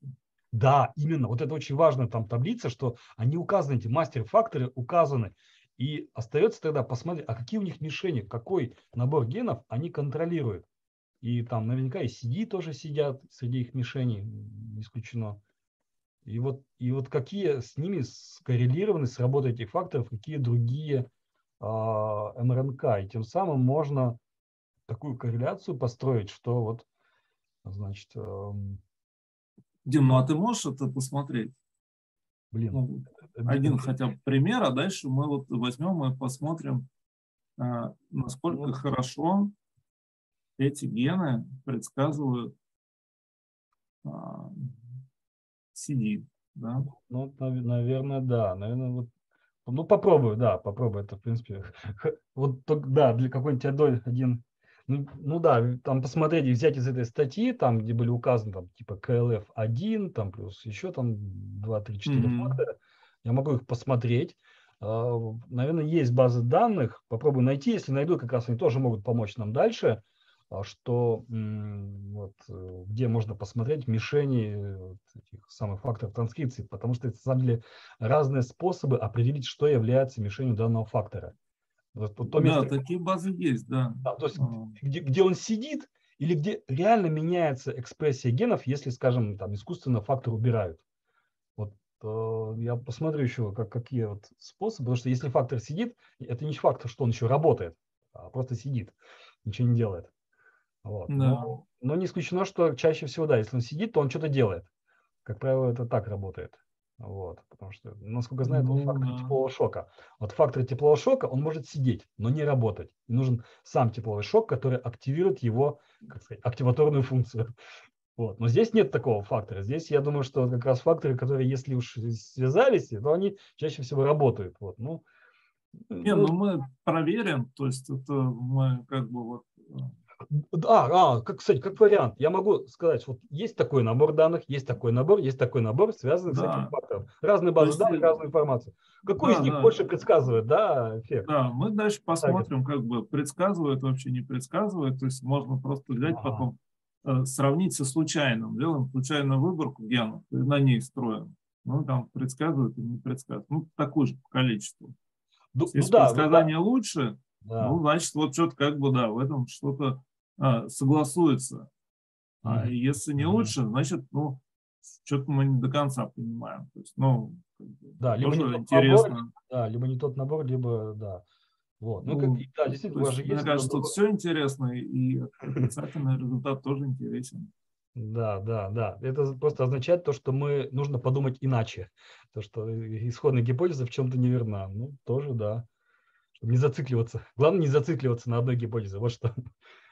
Ага. Не, ну тут как бы интересно, что мы можем вот какую-то биологию привязать. То есть чисто модель по машин-лернингу мы вот там уже понастроили. Вот.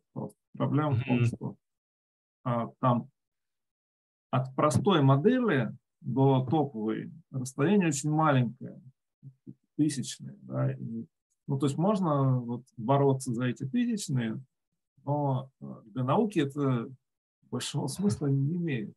Ага. А интересно, как бы вот именно, чтобы ну, как бы связать то, что дает Data Science с какой-то биологической интерпретацией.